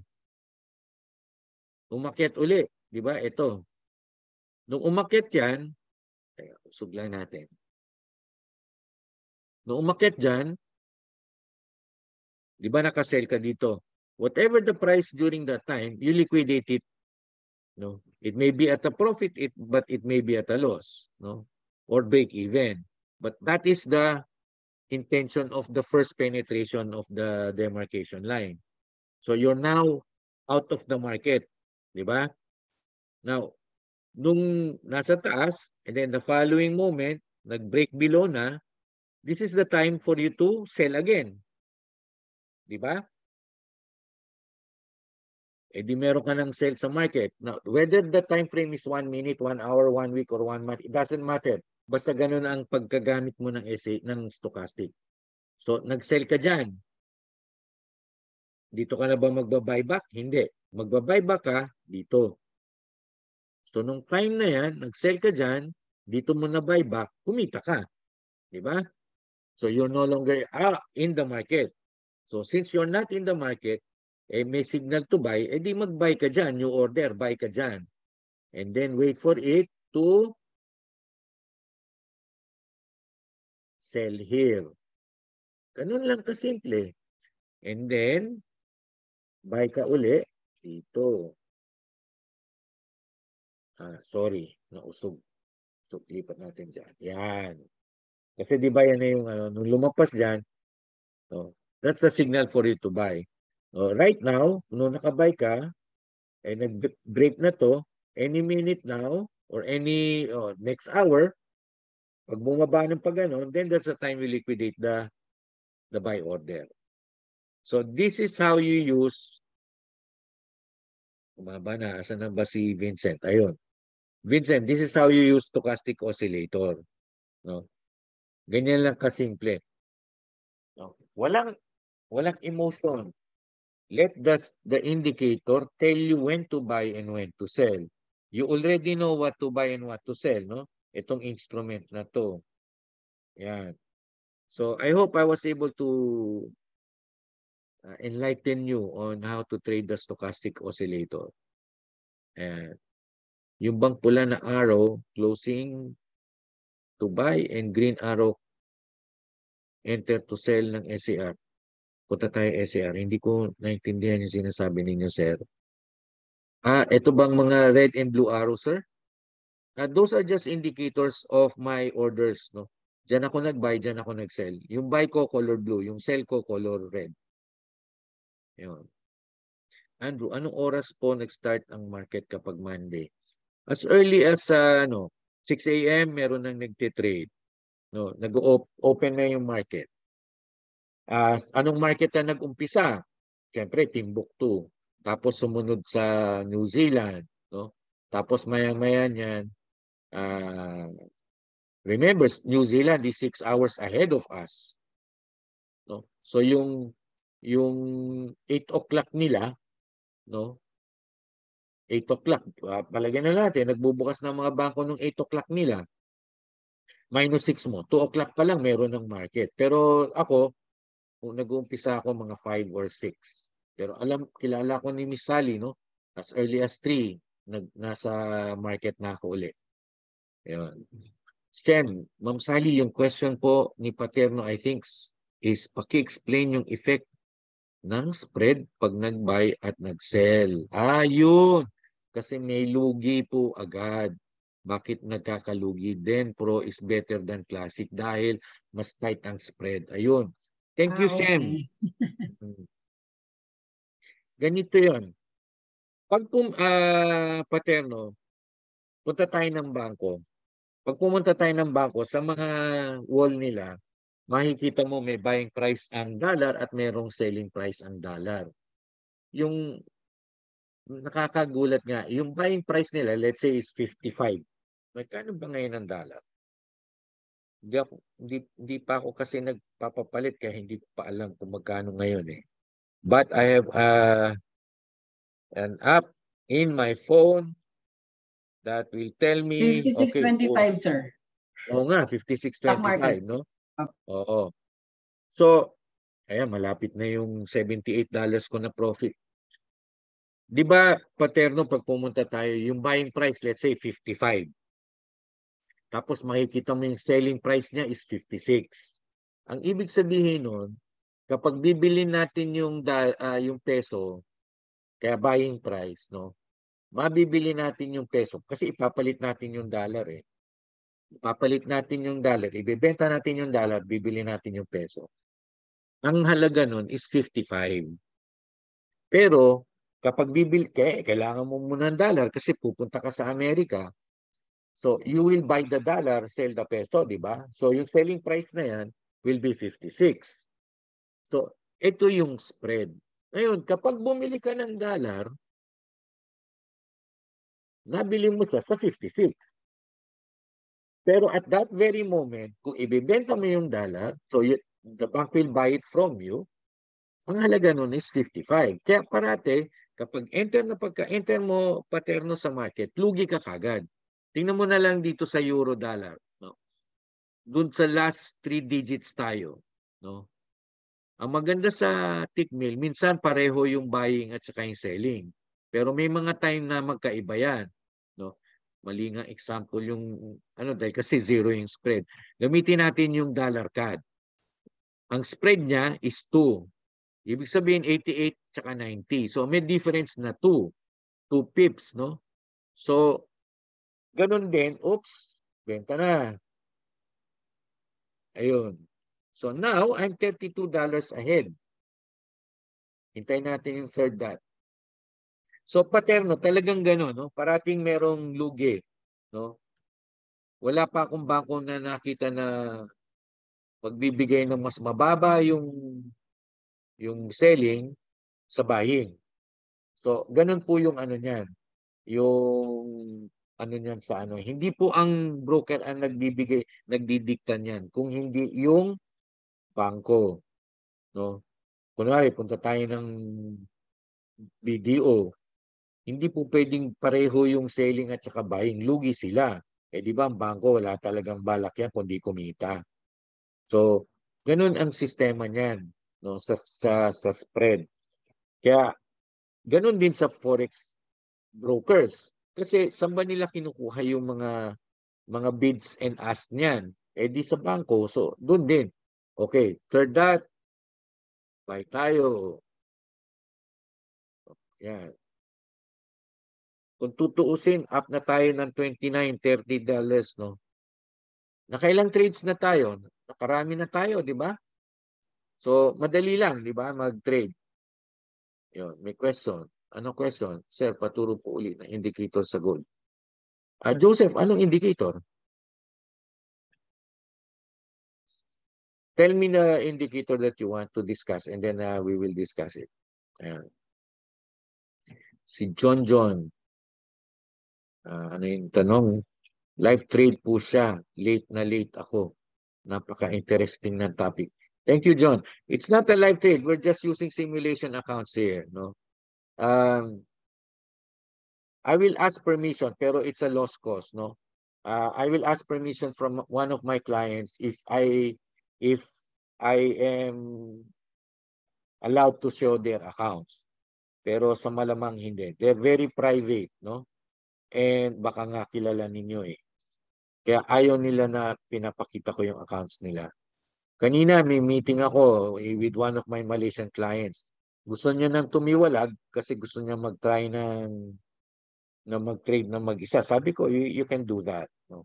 Pero na ano ko pa rin siya, na-convince ko pa rin siya, um, what we can do is, why don't you open a new account and then put new money there and then you trade that account and then leave the existing account for me to trade. Eh, kasi hindi naman ako madalas mag-trade na araw-araw. No? Kung meron lang akong free time. Yun. So, it's really uh, interesting here, John John. No? Masarap mag-ano rito, mag-aral. No? Andrew, tama po ba ang stocks uh, percent K? And yes, uh, yung percent K usually is 5 and percent D is usually 3. But uh, again, no, may mga Andrew, may mga tao, may mga traders na kinakalikot yan eh gagawin nilang 4, 14, gagawin nilang 21, so on and so forth. No? Ayun. Kasi pwede naman. Yun. Uh, Vincent, got it. Pero mas maganda po ang SAR gamitin for me, especially po sa mabilisang trade. Oo, tama Vincent. Tingnan mo kani, hindi ko nga hindi ko na nga alam kung nakailang trades na tayo eh. 'Di ba meron tayong mga trades na talo, meron na rin tayong mga trades na panalo. And in fact, no, we're more than we're we're up, we're we're positive, no, than negative. No? Even even if we entered the market late in the game, no, but somehow we were we were able to make uh, a positive uh, ending no in in our trades no no Vincent so maganda siya mabilis ang trade. And mind you ah sa 1 minute 20 ni trade. Parati itong tinatanong sa akin eh. Buti nga uh, kayo hindi niyo tinanong sa akin yan. Parati ito ang tanong sa akin eh. Ano ba ang magandang oras para mag-trade? Kahit tanong na si Misali tinatanong din sa kanya yan. Ang pinakamagandang sagot dyan, eh anong oras ka ba libre? Di ba? Eh kung sabihin ko sa inyo, eh, ako libre ako tuwing alas 3 ng umaga, eh di sabihin ko alas 3, eh di napipilitan kayo, di ba? Eh baka tulog pa kayo no? Kaya yung mga mga nagtatrabaho sa gabi, pauwi pa lang eh, tapos mag, magte-trade pa. So what I'm saying is, mag-trade kayo kung saan kayo komportable, kung may, meron kayong libreng oras. Kagaya nga ng sinabi ko, no, I, uh, example, I had two hours, three hours free of my time no, before going to bed, before going out to dinner or before having dinner, might as well make money. Eh, imagine ninyo, no? Simula nung nag-umpisa tayo hanggang ngayon, if I liquidate everything now, I'm already up by $60. Eh, kahit papano, di ba, pwede na ako magpahinga noon. Kota na. Di ba? So, ganun lang kasimple at ganun kasarap mag-trade, Vincent. Ayan. Si Alvin. Uh, Anelisa, ayan. Pag stochastic po, H1 or H4 time frame po ba ang mas magandang gamitin? Um, Nelisa, you can use the stochastic on any time frame. In fact, you can also even use that on one minute. No. I, I was just using it on H1 para at least mas maganda yung ano yung yung yung yung flow ng chart no kasi mas mahaba yung mga inaakit niya at saka ibinababa niya but let's say um you want to trade using stochastic pero you have one hour. Eh bakit ka magte-trade sa H1 hindi mag-trade ka sa 30 minutes or sa 5 minutes or even sa 1 minute. Pwede mong gamitin yung stochastic doon so do not limit yourself to those time frames lang. Dep- again, depende yan sa free time mo. Eh kung ang free time mo eh apat na oras, eh mo gagamitin H4. Eh di isang chart lang, isang bar lang ang gagawin niyan sa pagbabantay mo. Eh di nasayang lang, di ba? So might as well use it on a different, lower, much, much, much lower time frame. Again, all indicators, all oscillators can be used on any time frame. So wag wag niyo ilimit. Alvin, pwede po bang gamitin SAR sa gold dollar instruments? Thanks, pwede. Teka lang. Uh, may nagtanong kanina nito eh. Meron ba akong gold? Ayun, meron akong gold. O, lipat natin sa so one minute. Tanggalin ko yung mga indicators. Ah, isa lang pala. Yan. Bakit nagkaganito kulay ng ano ko? ng gold ko, color pink. Ah, meron kasi akong client, nagdi-discuss ako sa kanya, eh makaleni, kaya kinulayan ko ng pink.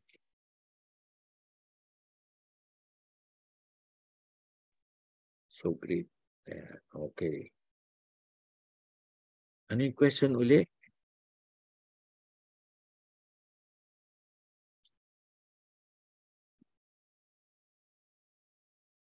Sa gold? Sino yung nagtanong sa akin uli sa gold? Teka lang, inahan. Ang dami kagad tanong, ano?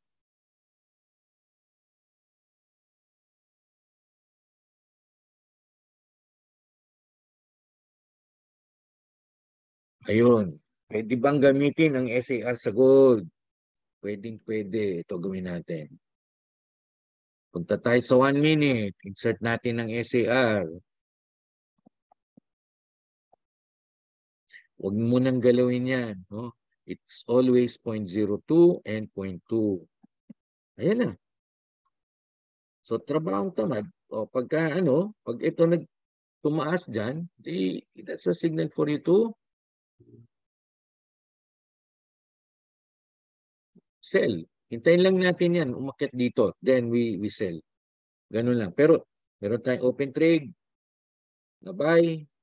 So anytime now, liliquidate na natin yan. Ah, hindi pa pala. Ayun. So kung ako, gusto ko rin mag-trade ng euro dollar at saka ng gold, lipat tayo dito. Hintayin natin to mag ano, mag punta dito sa taas, then that's the time we we enter a sell order. Asa na yung gold? Ayun. Then, o yun na. Sell na tayo dito, whatever the price is. Ayun. So, nakasell na tayo ng gold. This is our gold. This is our euro. Hintayin natin ang euro. Baka nagbigay na ng signal. So, yun. Ganun lang simple. Pero ang, ang likot ng gold, no? tingnan mo, $27 kagad yung kinain sa atin.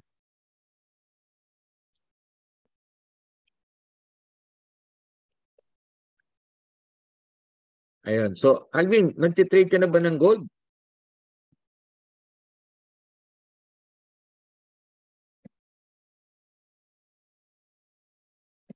Uh, yes, uh, Paterno. Kapag pro account, no, mas maliit yung spread. Sa classic, normal yun. Sila, going back to the oscillator, I noticed there's a green and red line. Which do we follow? Uh, green and red line. Uh, what oscillator are we talking here, uh, Miss Sheila? You're probably talking about, nasa na ba yun? Wala, SAR pa rin. Ah.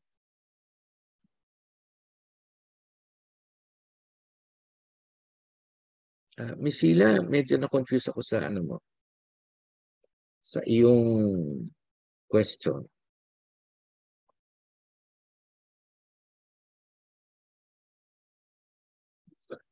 Mel, I have a question about the oscillator. Alin po ang susundin natin pag nag-cross? Is it the red? Ah, yun! Paano pala stochastic? Yung solid line. I think that's the green.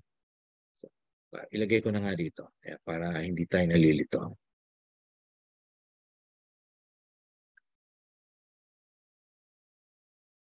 Yes, it's the green. Kasi there are other ways of uh, interpreting the the stochastic oscillator. And this is every time they converge and diverge. And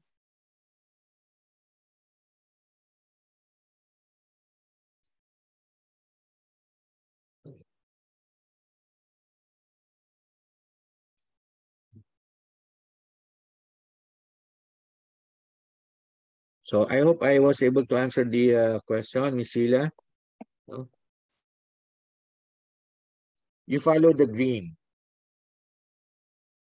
The red is just a moving average of the green kasi. So ayun. Uh, we have recording. Yes, meron tayong Len recording yan. Request tayo kay Miss Sally. Anong session na po tayo ma? Uh, Miss Raya, nasa technical uh, analysis pa rin tayo. Anong session na? Paano po magkaroon ng verified account? Ah, sinisali na yan.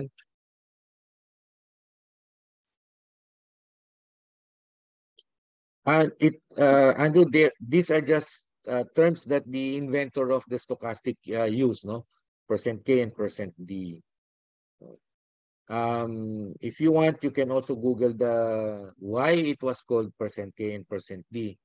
Uh, sa akin kasi I'm not using it predominantly, so Plus, I know what percent K and percent D is. But if you need to know bakit tawag sila sa kanila is percent K and percent D, um, pwede mong i-research yan. So Nathan, paano po ginagawa paglagay ng position nyo, buy and sell using parabolic, parabolic SAR? Ah, sa dots lang yan, no? wala, wala akong positioning ginagawa. I just follow the dot. Uh, minimum makata.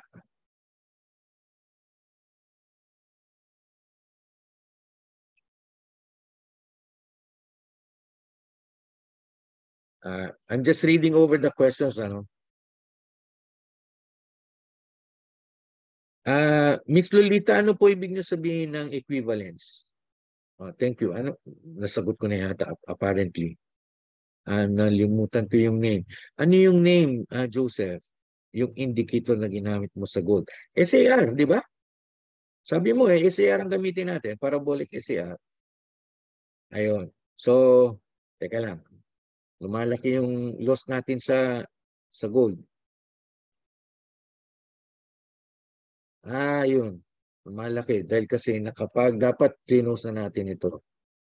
Ayan. Tapos, three dots. O, buy tayo ng gold.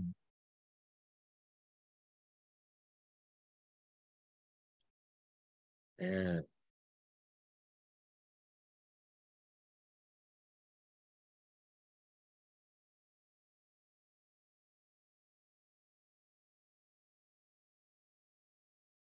si Ryan. So anong session po tayo ngayon?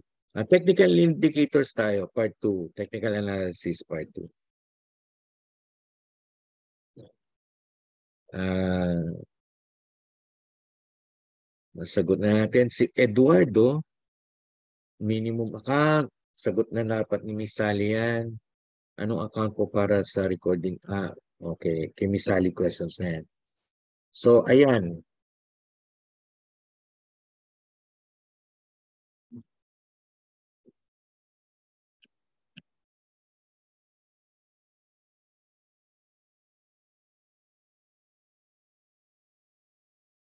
May chat pa? Ah, si Nilisa. Diyan po applicable yung three dots. Ah, doon sa gold buying sinasabi natin, Nilisa? Ah, yeah, siguro pwede natin gawin yun. Pero sa akin nga, di ba? Nakita niyo naman ako, I, I, I entered the trade on the on the initial dots, no? Ayan. Si Miss ano yan? Si Milesio, anong account para, ba para sa recording video? Ah. Yeah. Sheila here, MACD and stochastic oscillator. We also don't put stop loss. Ah, sa MACD, hindi na ako naglalagay ng, ng stop loss. Kasi nga, di ba, every time I use the, the, the oscillators or the indicators, um, they tell me when to buy and when to sell, di ba? So if I'm buying and then nag-reverse sila, that's the time for me to sell. I I I use the stochastic the the stop loss and the take profit. If I'm using the trend line analysis. Ayun. Si Millard, how is margin level computed? What do you mean margin level? Ay, yung nandito sa ano, Uh, yung margin level is the amount of volume that I am allowed to buy with my money. So, since I have $99,800 and then on average I'm buying euro dollar, di ba? Which is 1,600 something. I-divide mo yung 99 to 1,600 something, it will give you 3,000 volumes, no? Or margins that I will be allowed to buy or sell.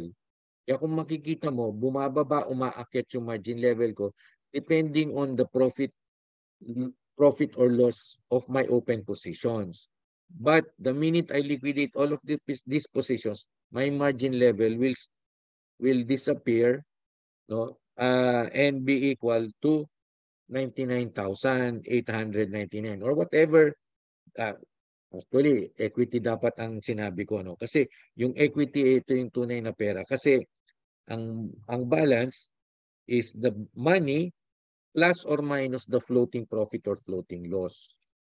In this case, $29. Yun. So, yun po yung computation ng margin level.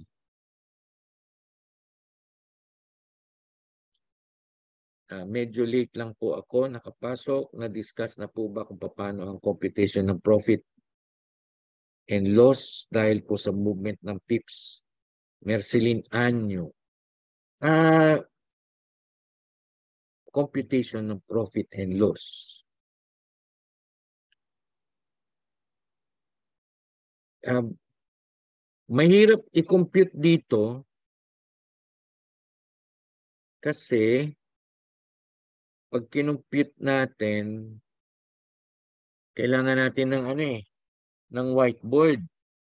But basically, to compute for the profit or loss, eh, i-compute mo yung open order mo, be, be it a buy or a sell, and then you deduct that to the uh, current price no of the instrument. So kung nakabay ka, i-compute mo yan sa selling current price ng instrument. Yon. Ah, uh, teka lang. Titingnan ko kung kaya kong gawin yan. Teka lang. Let me hold you off. Sandali ah. One minute.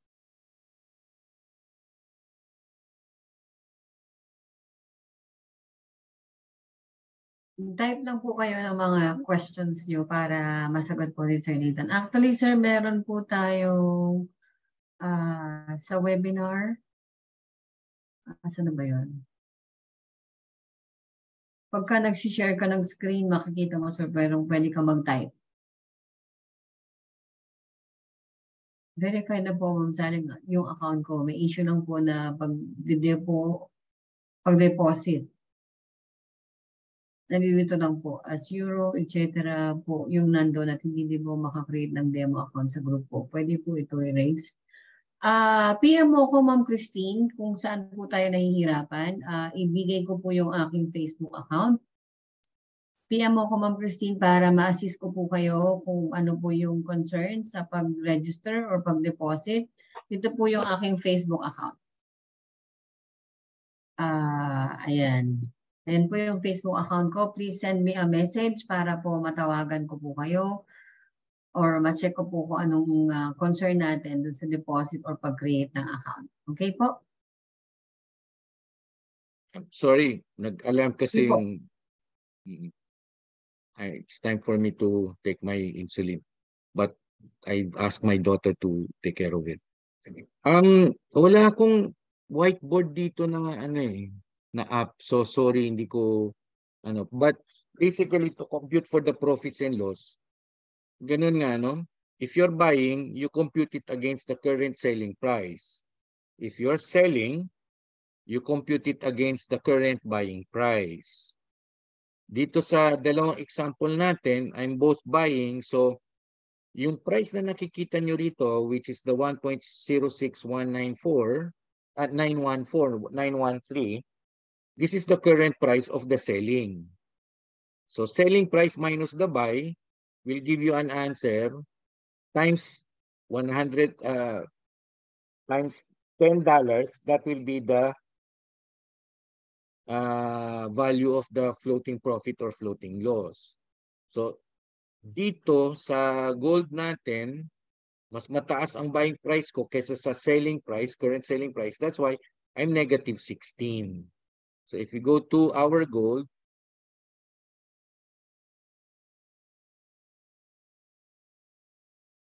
Ayan, nakabay pa rin tayo pero mababa pa rin sa, sa ano.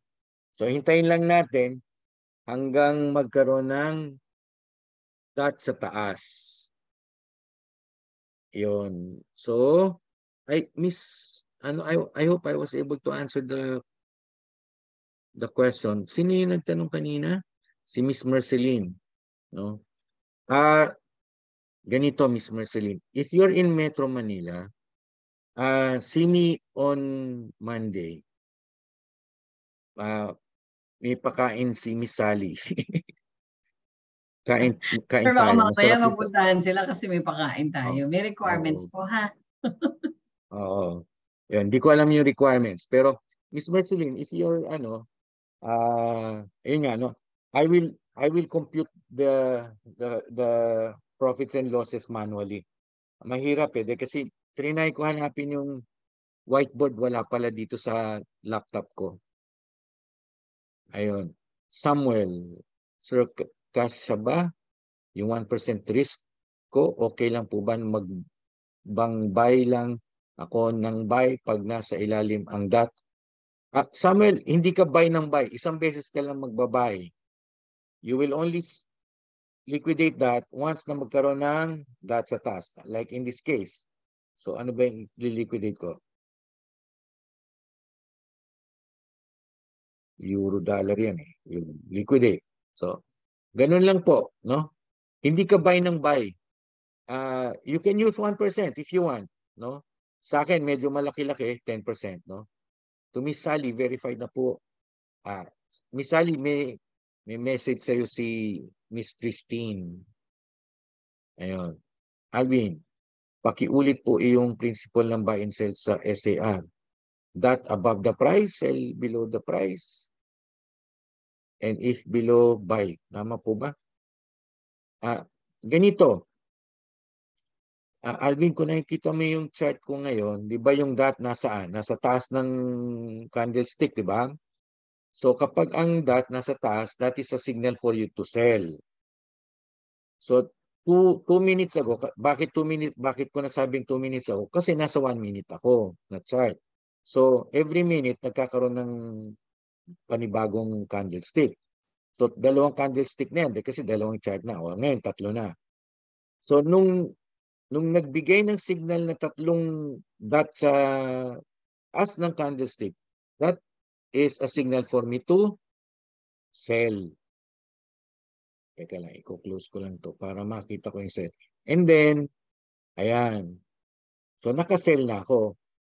Ganon din yung question kanina ni, ano, no, ni yung buy ng buy. No? Isang beses lang ako magsisell. Nung nag-sell ako, hihintayin ko yan. No? It can be 3 minutes, 5 minutes, 10 minutes from now. But hihintayin ko yan na mag-plot yung dot below the candlestick. Pag nag-plot siya na below the candlestick, that is the time I will close my, my sell order here. Ito yun. And then, liquidate it at a, either hopefully at a profit. But whatever the price, basta pag nagkaroon ng dot dito sa baba, I will close this trade. Kasi yun ang usapan ng SAR. No? It is now time for me to reverse my position. Kanina nakasell ako. Ngayon, nung naglagay ng dot sa ilalim, that's the time for you to reverse. So, ibig sabihin nun, that's the time for me to buy. So, ayun, ang ganda ng pagkakabili ko, ah, pagkakabenta ko tumutulo yung market. So $13, $14 na yung profit ko. But I'm not going to liquidate this yet. Bakit? Kasi wala pang debt sa ilalim. Yun. So I hope naintindihan na yung explanation sa parabolic SAR. No? Alvin, ganun lang kasimple. Masarap yan. Tingnan mo, oh, $16 na tayo. Ayan. Si Joseph, sa parabolic SAR, anong step ang maximum? Ano? I, I, Joseph, can you please rephrase your question? Basahin ko ha. Sa parabolic SAR, sir, anong pound ang step at maximum? If you're talking about the parameters of the SAR, if you're talking about this, no, parameters, the step is always 0.02 and the maximum is at 0.2. Pag binago mo yan, hindi na yan SAR.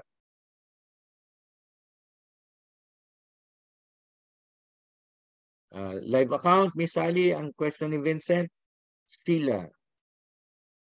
How to join the group? Ayun uh, Ma'am Sally, gustong sumali ni ni Sheila sa group natin. Ayan. Vincent, ano to? Start na kayo ng trade. Okay, mga mga operational questions na lang ito. Samuel, mali pa ah, okay po, mali pa ako. Ano yung Samuel yung mali? I hope nasagot na. Yun. Bakit mabilis ang liquidation ninyo? Yung sa akin pong demo ay nagtatanong pa ng confirmation kaya nababawasan pa. Anong command po para ma-direct profit na agad. Nasa setup ba yan? Um, ayun, si Paterno. Ah, kaya kaya na, natatagalan. Kasi siguro dino-double click nyo pa to and then i-click nyo yung close order. Ganito, kung nakikita mo yung chart ko, no? Wait lang ha. Daming ano eh. Kung nakikita mo yung chart ko dito sa aking toolbox, merong X dito. 'Di ba? Yung X na yan, kapag linagay ko yung mouse diyan, nakalagay diyan, no? close ticket number 171-48537. So, it tells me to, to liquidate this order. So, wala nang confirmation na nangyari. Paki-check yung iyong uh, MT4 or MT5. There should be an X on the end of the row of the ticket order. Ganon din sa gold ko, tingnan mo meron. Balik tayo sa gold. Nakabay pa rin tayo. Pero mukhang hindi natatamaan. Ayun. So, questions pa?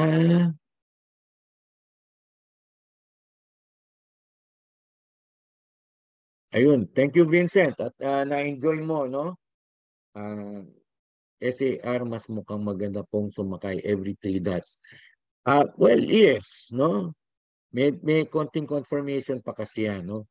So, it's really up to you. No? Uh, ladies and gentlemen. Uh, buti pala na nabulong ko yung yung style ni Eric at na-impart ko sa inyo. No? So, gawin ninyo, gamitin niyo kung gusto niyo yung ano. What is important is number one, you're enjoying this business, you're enjoying how to trade. And then number two, no, you're making money while you are enjoying forex trading. Yan. So, please, simple lang. Hindi naman natin kailangan pahirapan ang sarili natin eh. Masarap mag-trade, no?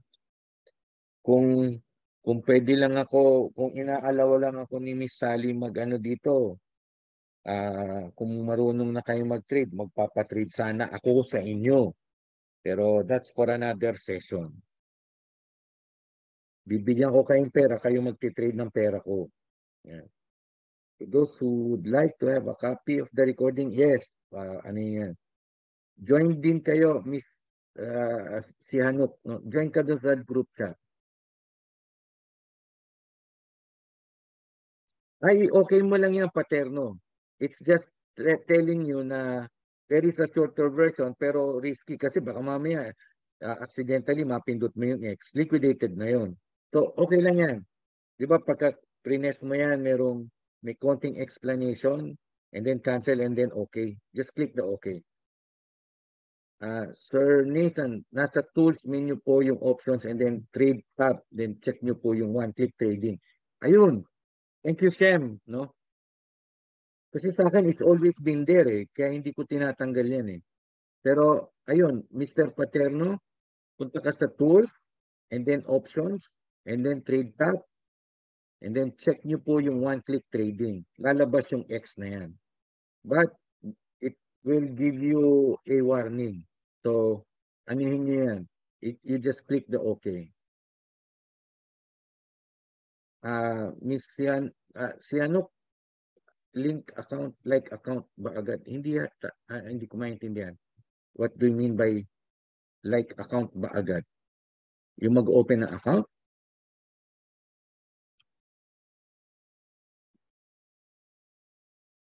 Milesyo, sir, yung bang SAR pag nagbigay ng dot sa itaas trend automatic.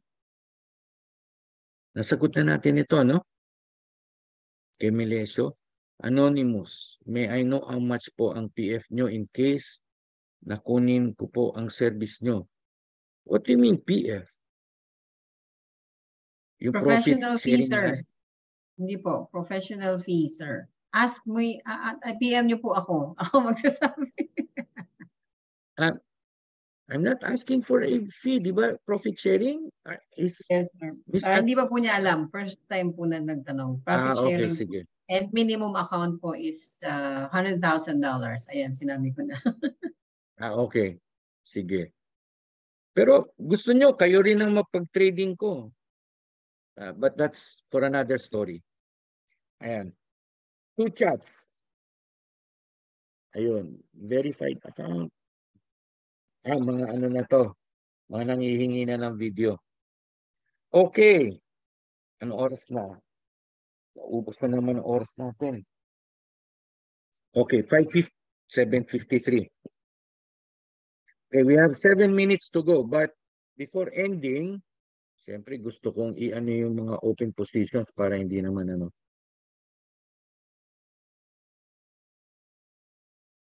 Ah, dapat pala nag-liquidate na. But anyway, liquidate na natin yan. Ayun. So overall, talo pala tayo for today.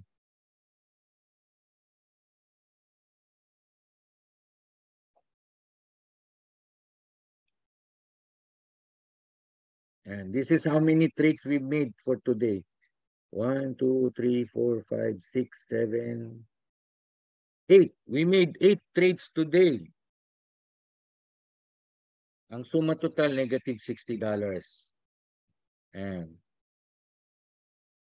okay, Michelle. Um, let me enter a trade again. Ayan. Michelle, your your trading platform should look like this, no? Pagdating sa toolbox, merong maliit na X dyan. Kung wala yan, you go to tools, options, and then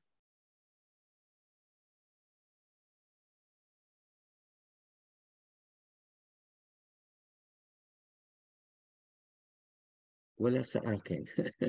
Ah, Tama po sir, ano sa baba, yung one-click trading sa trade. Ayan. Ayun. Ayan. And then you you check this. And then it, ito yung nakikita ni Paterno. I-accept mo lang, I accept, and then you, you press OK. And then lalabas na yung yung X na yan sa iyong platform. It can be MT5 or it can be MT4 meron niyang one-click trading.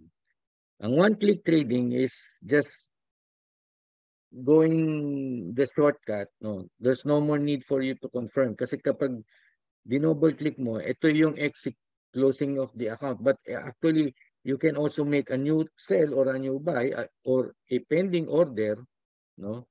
Or ultimately close the trade here, no? Close the 745. Ito yung 745 yung ticket. But ako, nasanay na ako na dito ko na lang tinatanggal. Yan. So, ayun, wala nang masyadong ano. So, Michelle, I hope I was able to answer the question. Uh, thank you to Shem no, for showing us the where to get the one-click trading option. Thank you so much, Pastor Shem. Tama ba, Pastor, di ba? Yes po sir. Oo. Ayan. Okay, no more questions guys? Kung wala na, 3 minutes na lang at magko-close na. Baka gamitin ng... Gagamitin Yes ba po. ito? Actually, Okay. wala naman sir, pero at least uh, we stick dun sa time natin. Ayan. Oo. So those who would like to, anyway, uh, before we answer some questions, no, iba kara, let go na natin si Sir Nathan, hindi pa siya nag nag-insulin. So baka may webinar pa tayo tomorrow. So and makapagpahinga na rin yung boses niya. Okay guys, before we end, uh, please uh, join me to our closing prayer. Father God, we thank you sa napakarami pong information at napakaraming knowledge na natutunan po namin ngayon. And we pray, Lord, na magamit namin to sa aming daily trading and ma-share din po namin para po maging successful ang aming pagtitrades on a daily basis. Lord, we thank you for all for the opportunity uh, of new learnings for tonight and we give you back all the praises and glory in Jesus name. Amen. Thank you so much Sir Nathan Amen. and uh, Thank you. Thank See you tomorrow. guys. Yes, sir. See you tomorrow at Mm. 6.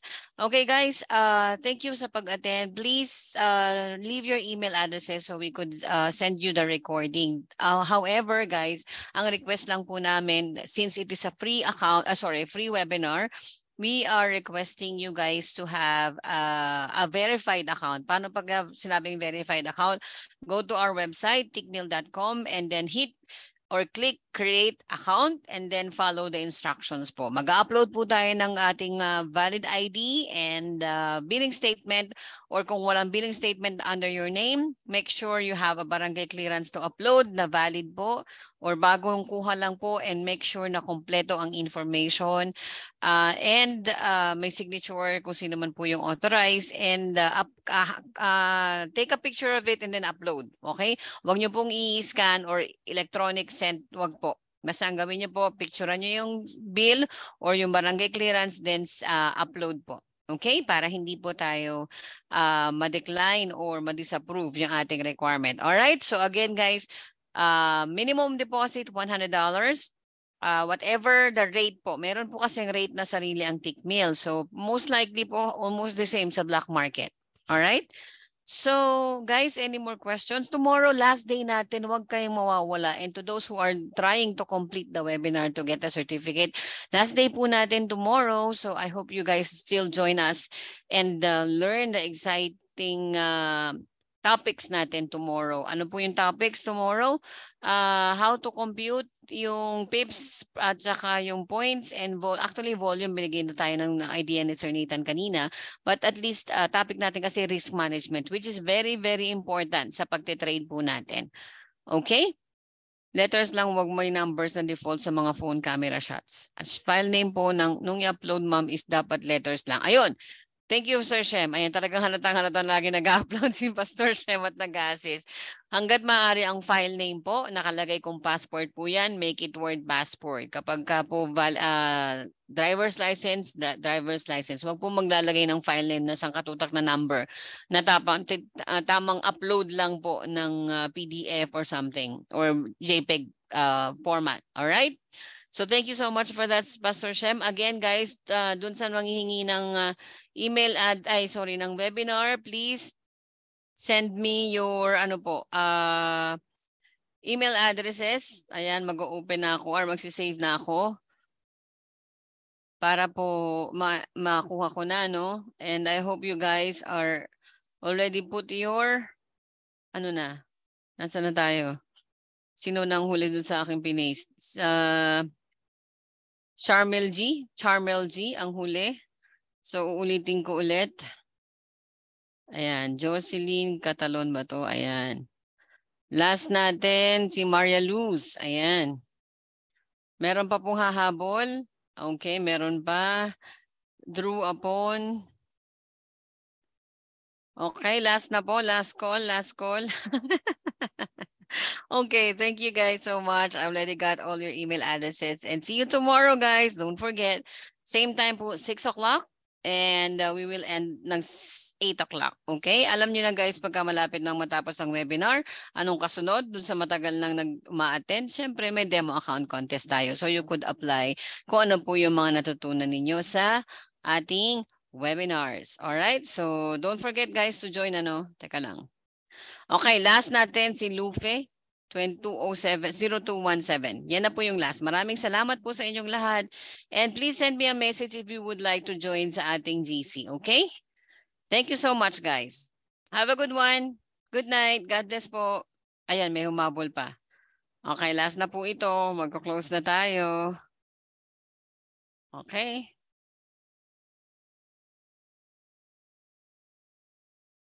Bye-bye, everyone.